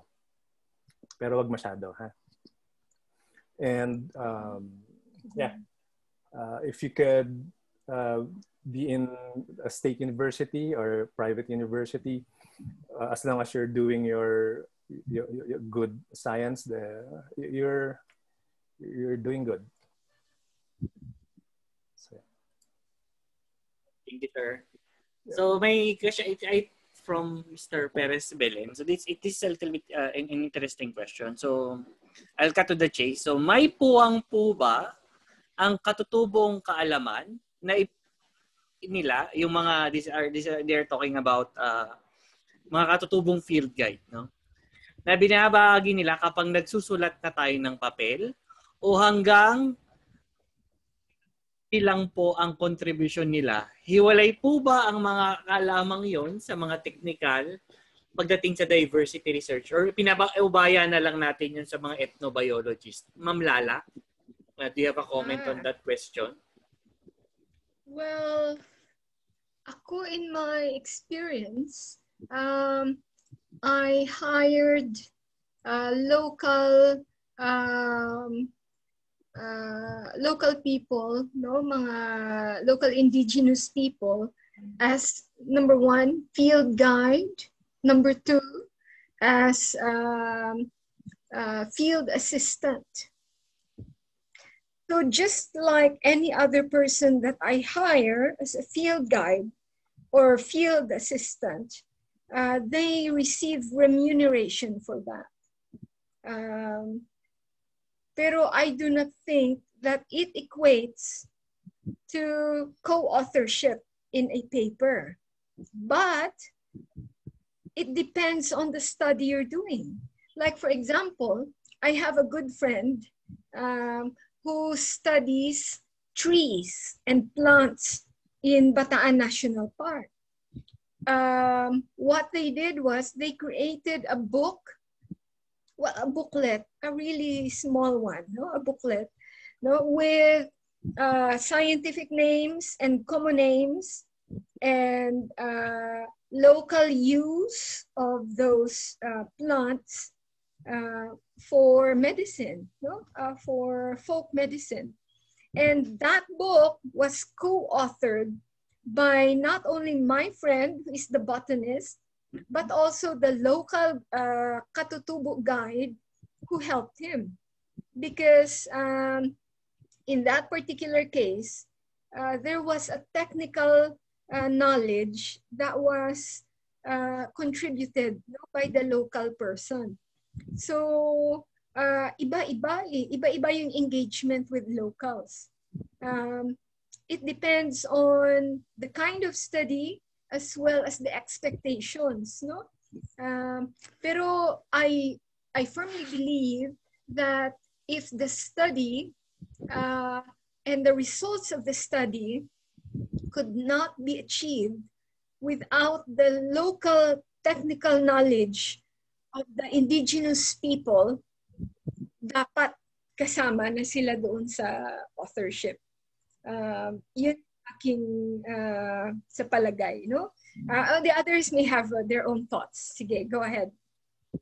So, that was that's an interesting question. Uh, Ma'am Tess, uh, do you have any experience dealing with uh, uh, guides from India?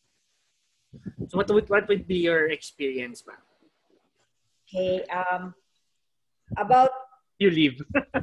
yeah, but anyway, I'm still here. Okay, um, about guides, um, there's only one thing that uh, when, especially when in the field, um, um, I we would always like remember to stay calm and focus and be kind and polite to everybody, including the guides, because they are the ones who would help us in all the things that we do while we are there. So um, makikibagay ka talaga however you, uh, kung saan ka, like, uh, makikibagay ka sa kanila dapat. Yun yung, yun yung basic rule namin at least um, when we are yun yung yun lang yung mas share ko na very important and I think it it should um, every young biologist should also remember. Thank you. Thank you, Ma'am Tess. Sir JC, I think you have one student here. Mr. Sanchez asked from MS Zoology in UPLB. Uh, I would like to address this question to Professor Gonzalez. When conducting a research on migratory shorebirds, most likely they form flocks in which it is very difficult for us to count. May I ask po if there is any technique on how to count them or what is the proper way on estimating their count? This is more on the method, sir. Handa ako magsagot doon sa ethnobio eh. Baka gusto niya na. Nakita ako ng picture ni. Sagutin ko muna yun ha. Sige, sir, sir. You can... Uh, to, to follow up on Carmela's uh, comment kanina na tama kasi the, the, the local guides, especially the, the, the indigenous people are amazing. They're, they're kasi alam na nila yung gubat eh. So for me, it was easier for me to conduct my, my research on hornbills mm-hmm. because they were so knowledgeable. Actually, they have their own sense of, of, of uh, natural history. Meron, iba lang yung tawag nila. Uh, even with scientific names, we memorize scientific names and common names, but they have their own um, vernacular names for each of the species that it actually attunes to a particular species. Um, and kilala na nila yung tunog. Actually, here's a picture of, of one of my guides. Um, so it's actually an exchange. You learn from them, but also you teach them. Um, and you don't underestimate na porque IPC hindi sila mm. matuto ng science. No, my guide actually learned how to help me put up the, the GPS loggers on these pteryctics so we can wow. trace them in terms of GIS. And they were the ones helping me uh, identify the food plants. Kasi kilala mm. nila by leaf, even by sapling, and even determining which kind of trees ang merong particular nest hole. And it's, it's not a matter of, ano yung kind, they have to, to kind of trust na they will also learn from you. It's just a matter of meeting halfway in translation. And I think that's that's what we need now is is is um, bridging the gap. Um, so I think one of those questions actually kind of is actually one of the studies being um, promoted now, which is on, for me, our, our case, we call it ethnoornithology. Of course, it's ethnobiology. In general, we call it ethnomammalogy, ethnoentomology. Uh, it all depends on how we look into the value of um, local knowledge in terms of studying ecology and doing conservation work. Um, we're not only rich in biodiversity, but also rich in cultural diversity. And I think that's something na kailangan natin i-put together. Um, there's a lot of, um, we're, we're becoming more modern that we're losing a lot of information without even documenting them, especially with, uh, with indigenous people. Um, it's not just me, but also with our own dialects. May kanya-kanya tayong um, languages and dialects. Parang sinabi natin, if you look at Abby Base, for example, there's a, a, a translation for Philippine Eagle in German, in Japanese, in pag sa atin, ano, hindi pa tayo magkasundo, ano ang official Filipino name ng Philippine Eagle? Someone says Haring Ibon, someone says Banog, someone says, ano ba talagang official Filipino name? Nobody knows. And we don't have that checklist for the Philippines. Kasi tayo pa lang hindi na tayo magkasundo but also in Cebuano. So um, in UP Visayas, we have a list of all the birds in Cebuano, in, in the local language. Anong tawag niyo sa tree sparrow? Anyone from UP Visayas who would uh, answer that? Kasi when if you're in Cebu, it's called Gorion. It's the old name in Spanish. But it comes yeah. to Manila, it's called Mayang Simbahan. In another place, it's called Mayang Bato. I think it's something that we need to look into not just with, indi- with indigenous, but also with local knowledge. Kailangan na natin i-document, not just with birds, but also with herps, with, with reptiles, with mammals, and even yeah, nga biological diversity encompasses our heritage and even our heritage nila. Eh magpa 500 years na tayo, hindi pa natin alam. So, um, yeah, so for us, it's kind of putting together, um, there's very few studies on birds in terms of of ethnoornithology and we hope to kind of promote that further. And hila pa ako ng isa. Sige lang, sir. given the fact that we're stud- we're talking about UP Visayas, I think it's it's high time that if your forte is marine, then why not put things together? There are vertebrates and tetrapods that need to be studied, including the birds and the water birds. It's it's kind of difficult kasi konti pa rin yung information natin about um, the biology of, of a lot of seabirds in the Philippines, including one species which is the Worcester's uh, black noddy na nalagay na natin as critically endangered. So actually, if you have this one, you can actually get and download for free. O promote ko na rin to sa Red List kasi members po kami lahat ng Red List Committee. Yes. For the So time, actually, we're actually members of the Red List Committee. Both of So us this- and in the Philippines. Yes, you can download this from the BMBE library. If you go to the BMB website, there's a lot of things you can download, including the red list. And that can help you kind of identify, sort of, including the seabirds, which are also critically endangered. And um, now going back to, sorry, sorry. Sino yan? Ayan. Okay. Michael, ikaw ba nagtanong? Si Michael, uh, Michael nga po ata yung nagtanong. Ayan, ay Doc Sanchez. Hello. Ayan. So yeah, uh, you talked about uh, seabird, uh, water birds. It is very difficult to count them, um, and I think it's a matter of using the right techniques. So one is you can, so picture natin ito yung nangyayari sa'yo kasi gumagalaw sila, mahirap sila i-count. One is you, do, you take a snapshot. Pag tumigil na sila, which hindi pa sila tumitigil. Sabi na tumigil siya, up, yeah, tumigil. Bilangin mo na kayo. So you can use that in terms of a technique. And now because you have drones, you can do it from the top. Yun nga it's a matter of differentiating the species from each other. So maganda pag hindi ganun kapare-pareho. But again, with water birds, it's a little difficult because they kind of look the same. So it's a matter of practice. Another is you do the count itself. Yung 10, 20, 30, 40, 50, it's not going to be accurate. But as you practice with certain, say, a picture, you know, pag-practice ka sa isang video na ganito until you get the correct number. So it's a matter of, of doing the practice, yung kano ka kabilis mag-count. Again, are you counting individual species uh, or counting as a group in terms of the numbers of birds?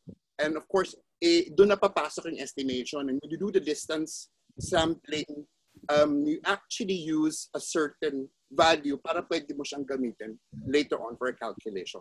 Mm. So you're estimating a value. Not actually exact counting. Iba yung direct count, iba yung estimation.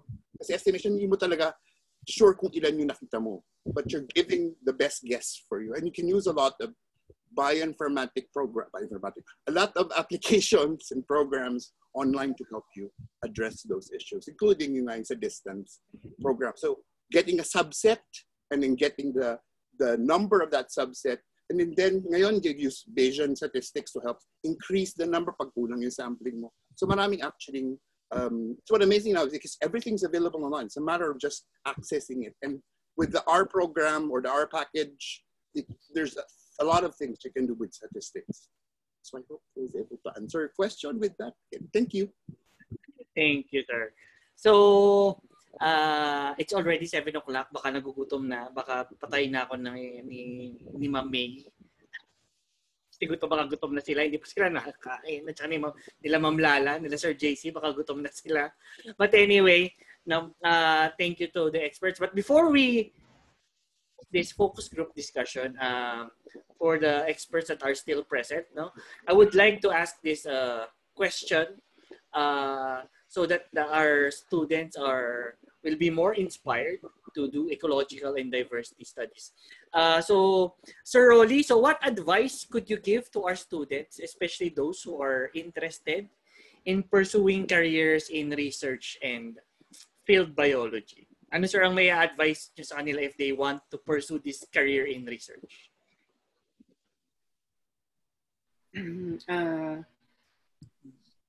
very basically uh, be yourself lang po sa sa maging totoo lang kayo sa sarili nyo kung masaya kayo doon sa or passionate kayo doon sa work na yan ay ang mai-advise ko po ay go for it. Um, kung may opportunity po kayo at masaya kayo doon, uh, yun po ang importante. Uh, yeah, we should go for it. So, yun po yung pinaka, uh, yun, yun na po yun. Thank you, Sir Roddy. Uh, Ma'am Sweetie, any advice for our students?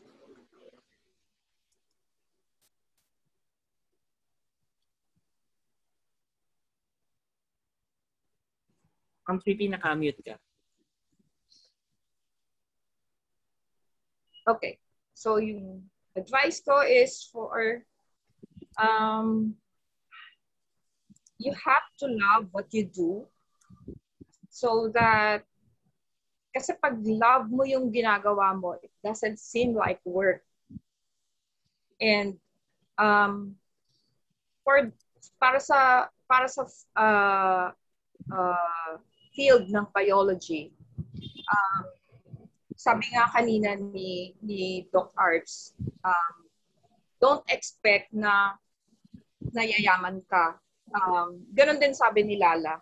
Don't expect na you get rich. Kasi um, swerte-swerte lang yon Most of the time, hindi. Pero you'll get by. You'll get by. Depende sa'yo yon um, um, basta you live within your means. And then, um, para maging successful kayo, first step, connect to experts. Uh, talk to the experts kasi sila yung magiging mentor nyo. Yan yung mga professors nyo. Or kung hindi nyo man professors, um, reach out to these ano, to these experts. Collaborate. Um, collaborate with them. And then, um, i, ano ko lang yung sinabi ni Rolly, kung gusto nyo talaga yung uh, biology or as field biologist, um, doing research and ecological surveys, mga ganyan, uh, just follow your heart. Follow your heart. Kasi at least, pag later on, pag graduate nyo, tapos naghanap kayo ng trabaho, basta i-enjoy nyo. When you follow your heart, mag enjoy din kayo. Pag kasi pag, pag hindi kayo na nag enjoy baka dun pa lang sa ano, tapusin mo na, ayaw mo na. Kasi ay ayoko, hindi ko hindi ito para sa akin. So dapat dun pa lang malaman mo na kung kung nag enjoy ka diyan sa ginagawa mo. Kung nag enjoy ka, then go for it. Tapos later on, pag naghahanap ka na ng trabaho, tapos hindi ka naswerte na um, hindi high earning, hindi hindi masyadong malaki yung yung tinatanggap mo na na compensation. Well, at least masabi mo sa sarili mo, nag-enjoy ka, you had a great adventure of your life, or kung nasa nagtuturo ka, nasa academe ka, masaya ka kasi maraming estudyante natuto sa'yo. Marami kang na, na na guide or na mentor. Yon. Um, and then, um, yung sinabi ni Doc Arts kanina, it's not about being famous. Um, basta just do good science. Um, kung ano yung nagawa mo na, na, na research, kung ano yung public yung publication mo that will speak for you for you. Yon. Yun lang po. Thank you, Ma'am Sweetie. So gutom na ata yung asawa ko. Ma'am Abby, your advice to our students? Especially, hindi nakakalayo yung mga edad natin sa kanila. Grabe ka naman. Hindi malayo. Malayo. um, siguro, it's, uh, yung sasabihin ko, it's different from them. Kasi nga, um, sila is nasa ano na eh, um, kumbaga, it, there are already in their led ano na um they're uh, they're already ano nasa legacy stage na sila and yung in, stage in short matanda na kami Uy, grabe naman sa hindi. hindi. Ano legacy stage na sila which na ano na um kumbaga they experience a lot na siguro yung sa akin as part na ayun nga same as the other participants na we are all starting. Siguro una ang na, ang una kong ma, una is go ano look for a mentor na talagang ano, yung magpapalaki sa'yo. Kung, kung i-mentor ka talaga niya all the way. Um, which is yung, uh, yung mentor na dun sa field na gusto mo talagang gawin. Yon, look for that, which is, uh, sabi nga nila, it's ano yun eh, um, hindi man siya swertihan, pero um, sa ngayon, medyo ano siya, um, parang uh, ngayon madali siyang gawin kasi um online. But um if there's the opportunity na na may lumapit na sa'yo or nagbigay na sa opportunity, grab it. If you felt na ito na yon. Next is listen to your mentors. Yan yun. Listen to them.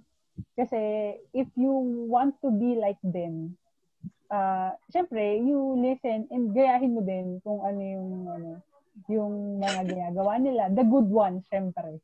Then, um, once na, na nandun ka na sa flow, or nandun ka na sa, na, nakapasok ka na, ginagawa mo ginagawa nila, always, ano, always, um, ang laging ang turo sa akin, ano, ng, ng mentor ko, always give, ano, always uh, give, uh, give uh, gratitude.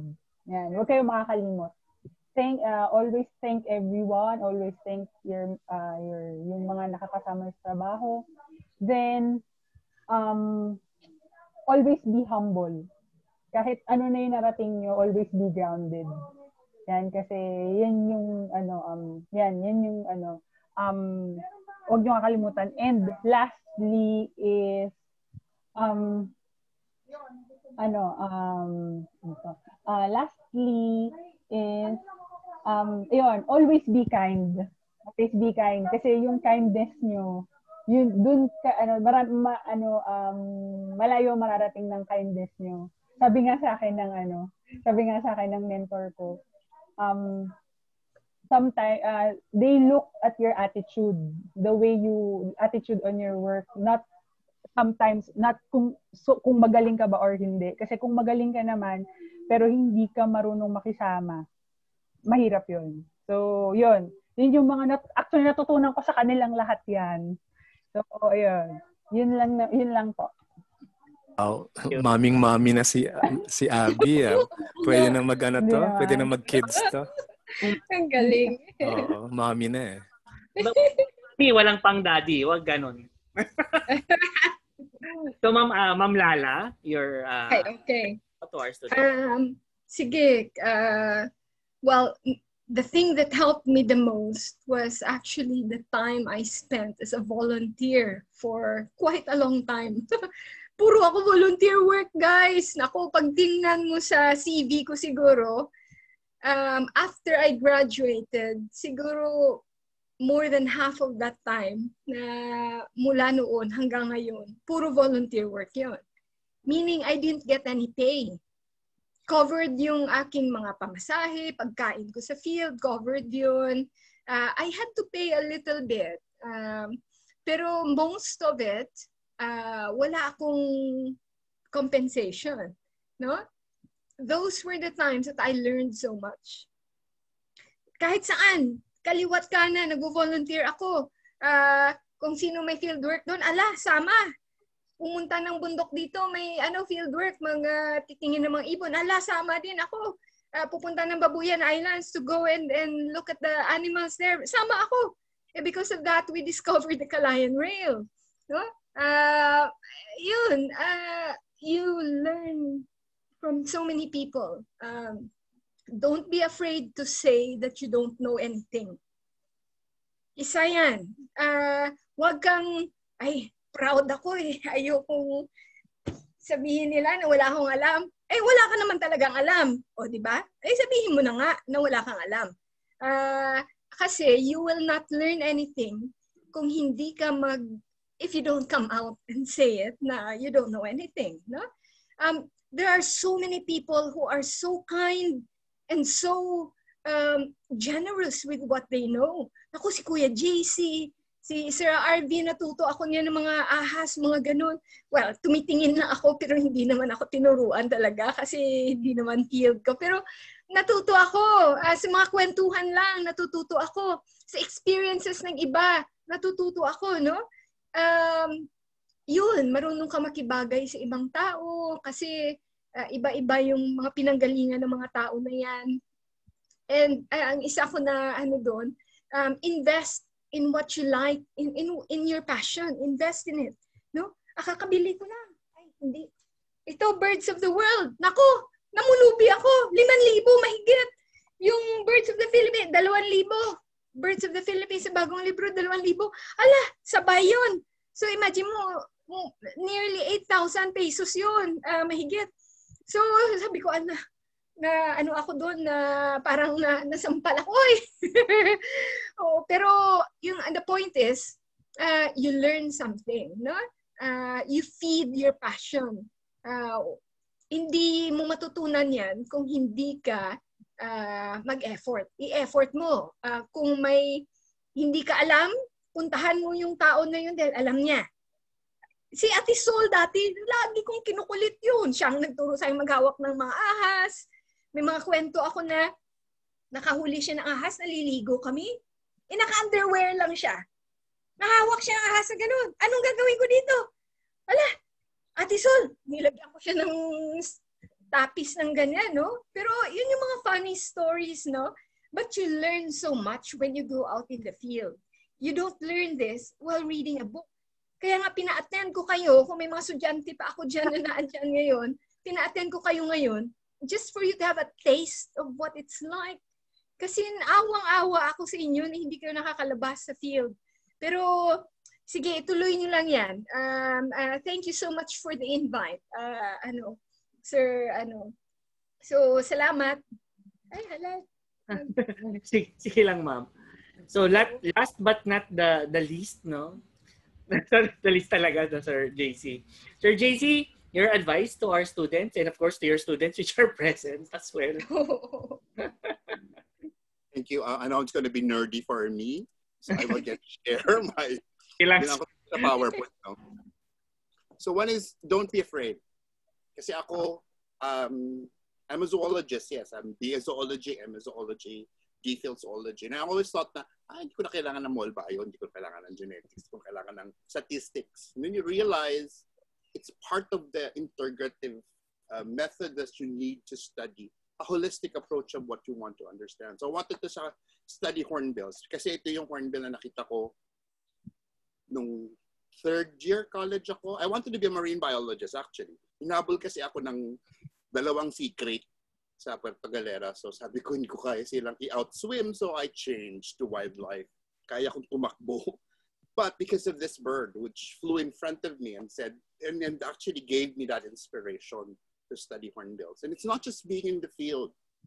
There are also information that's already locked in a database or in a museum collection such as this. Maraming information yung kinolekta at pinaghirapan ng mga tiga-museum is a treasure of data. And now they're putting it also accessible online uh, with GBIF. So ang daming pwedeng gamitin in terms of study. Yes, we may be on lockdown or you may be in quarantine, but it's you're not necessarily alone.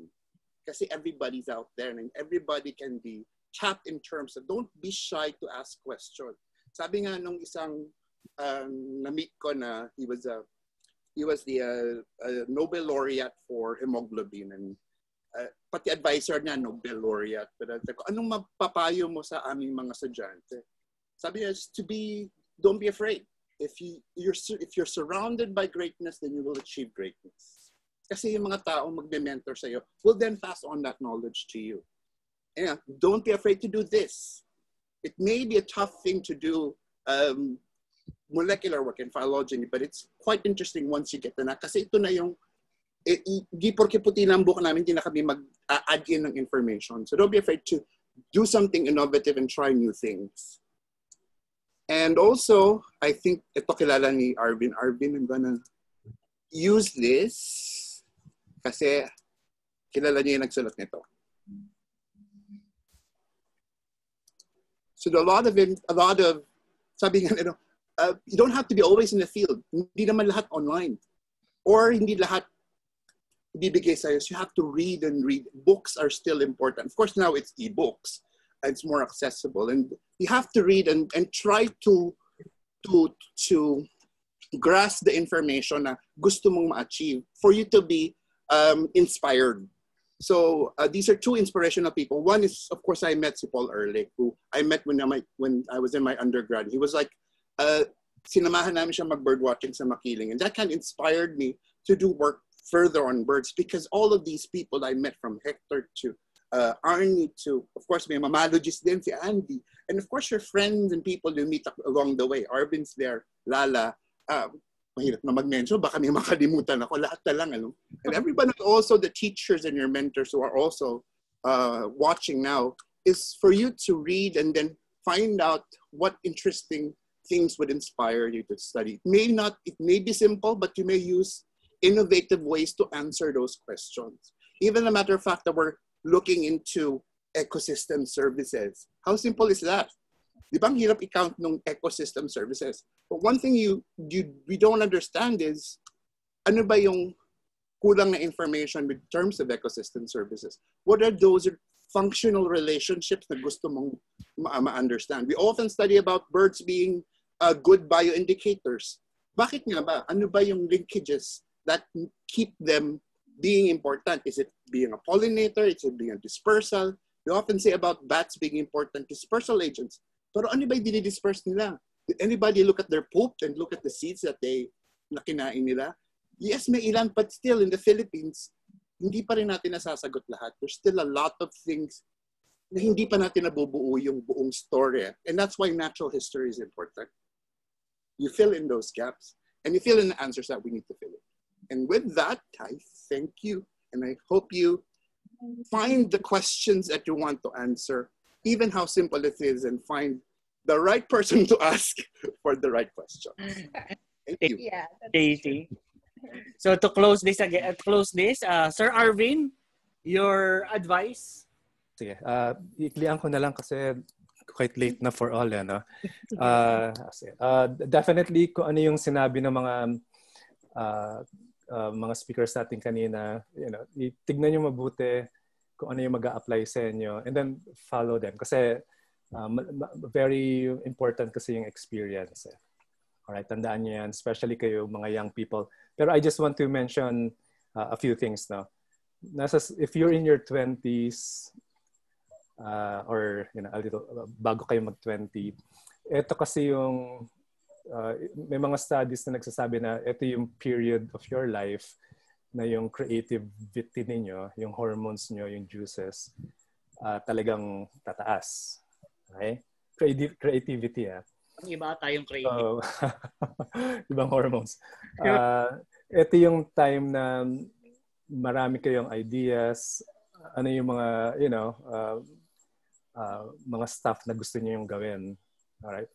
Go for that. Uh, gawin niyo lang kung ano yung mga gusto niyo kasi eventually things will fall into the right places naman eh.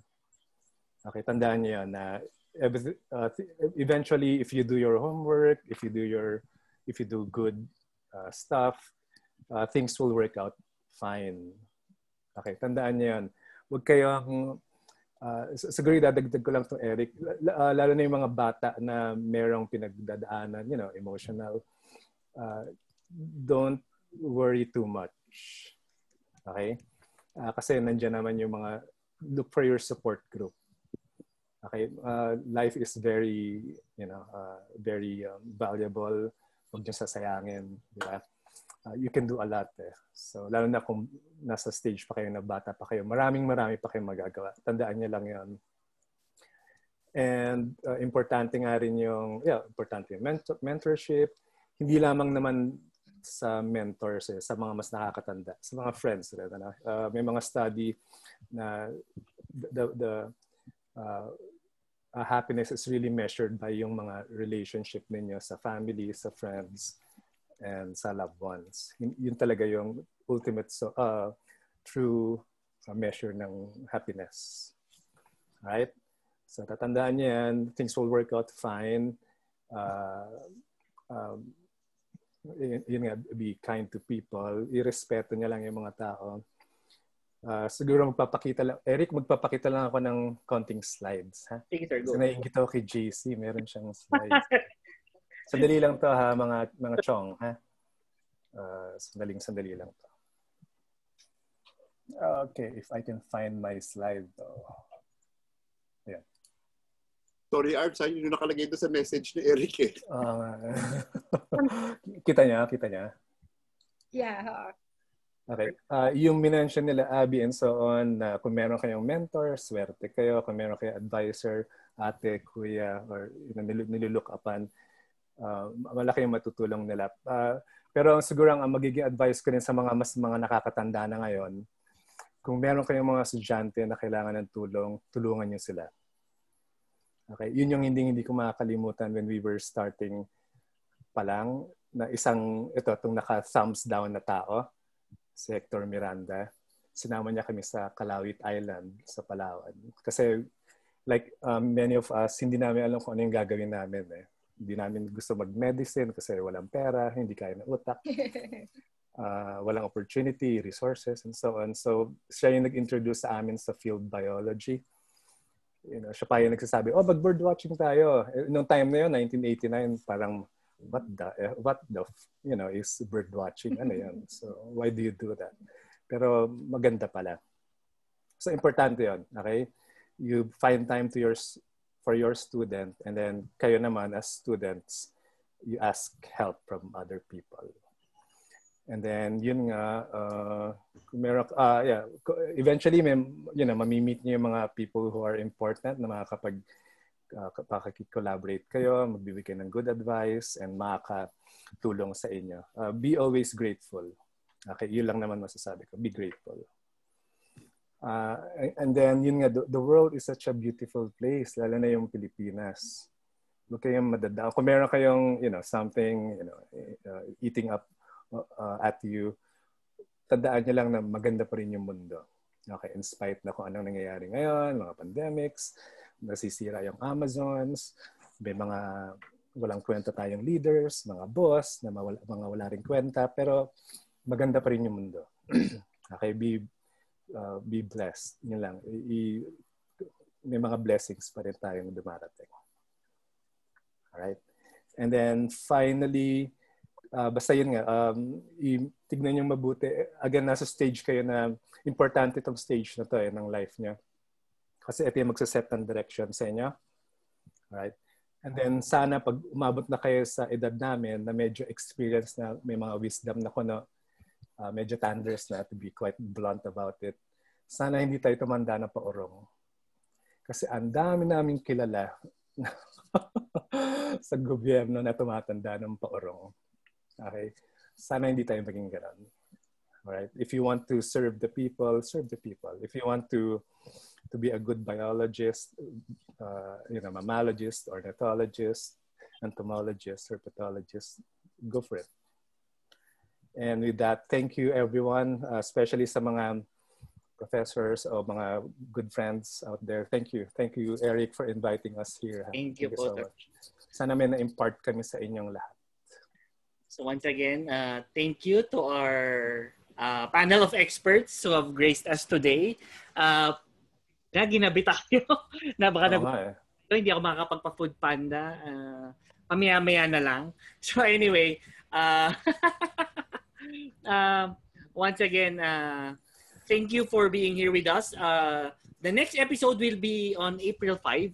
With that will be on terrestrial invertebrates, followed by freshwater uh, sampling on April 6. Then we will uh, but then on April 16 will be on ecology and conservation. So those are the episodes that we have for this web series. So before everybody goes, I would like you to uh, I would like to ask of you to uh, open your cameras. A short picture taking. Ilan pages So kindly hopefully na pa bear with me kasi five pages tayo. So kindly open your cameras po. Thank you. Okay. So let's start. So first page, no? Dami pala, ah, Eric. Uh, kanina nga sir mas mahirap. Anyway, first Ano page ng schools to? UST, UP, ano pa? uh, across the Philippines, sir, I think ang maraming attendees. May Though- LSU? UPLB, some uh, FSUU. So, okay, first page, one, two, three. Next page. One, two, three. Page. One, two, three.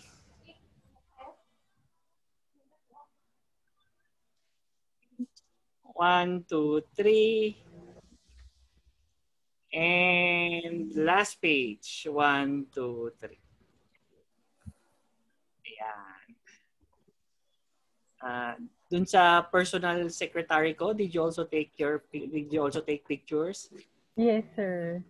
Thank you very much to my personal secretary.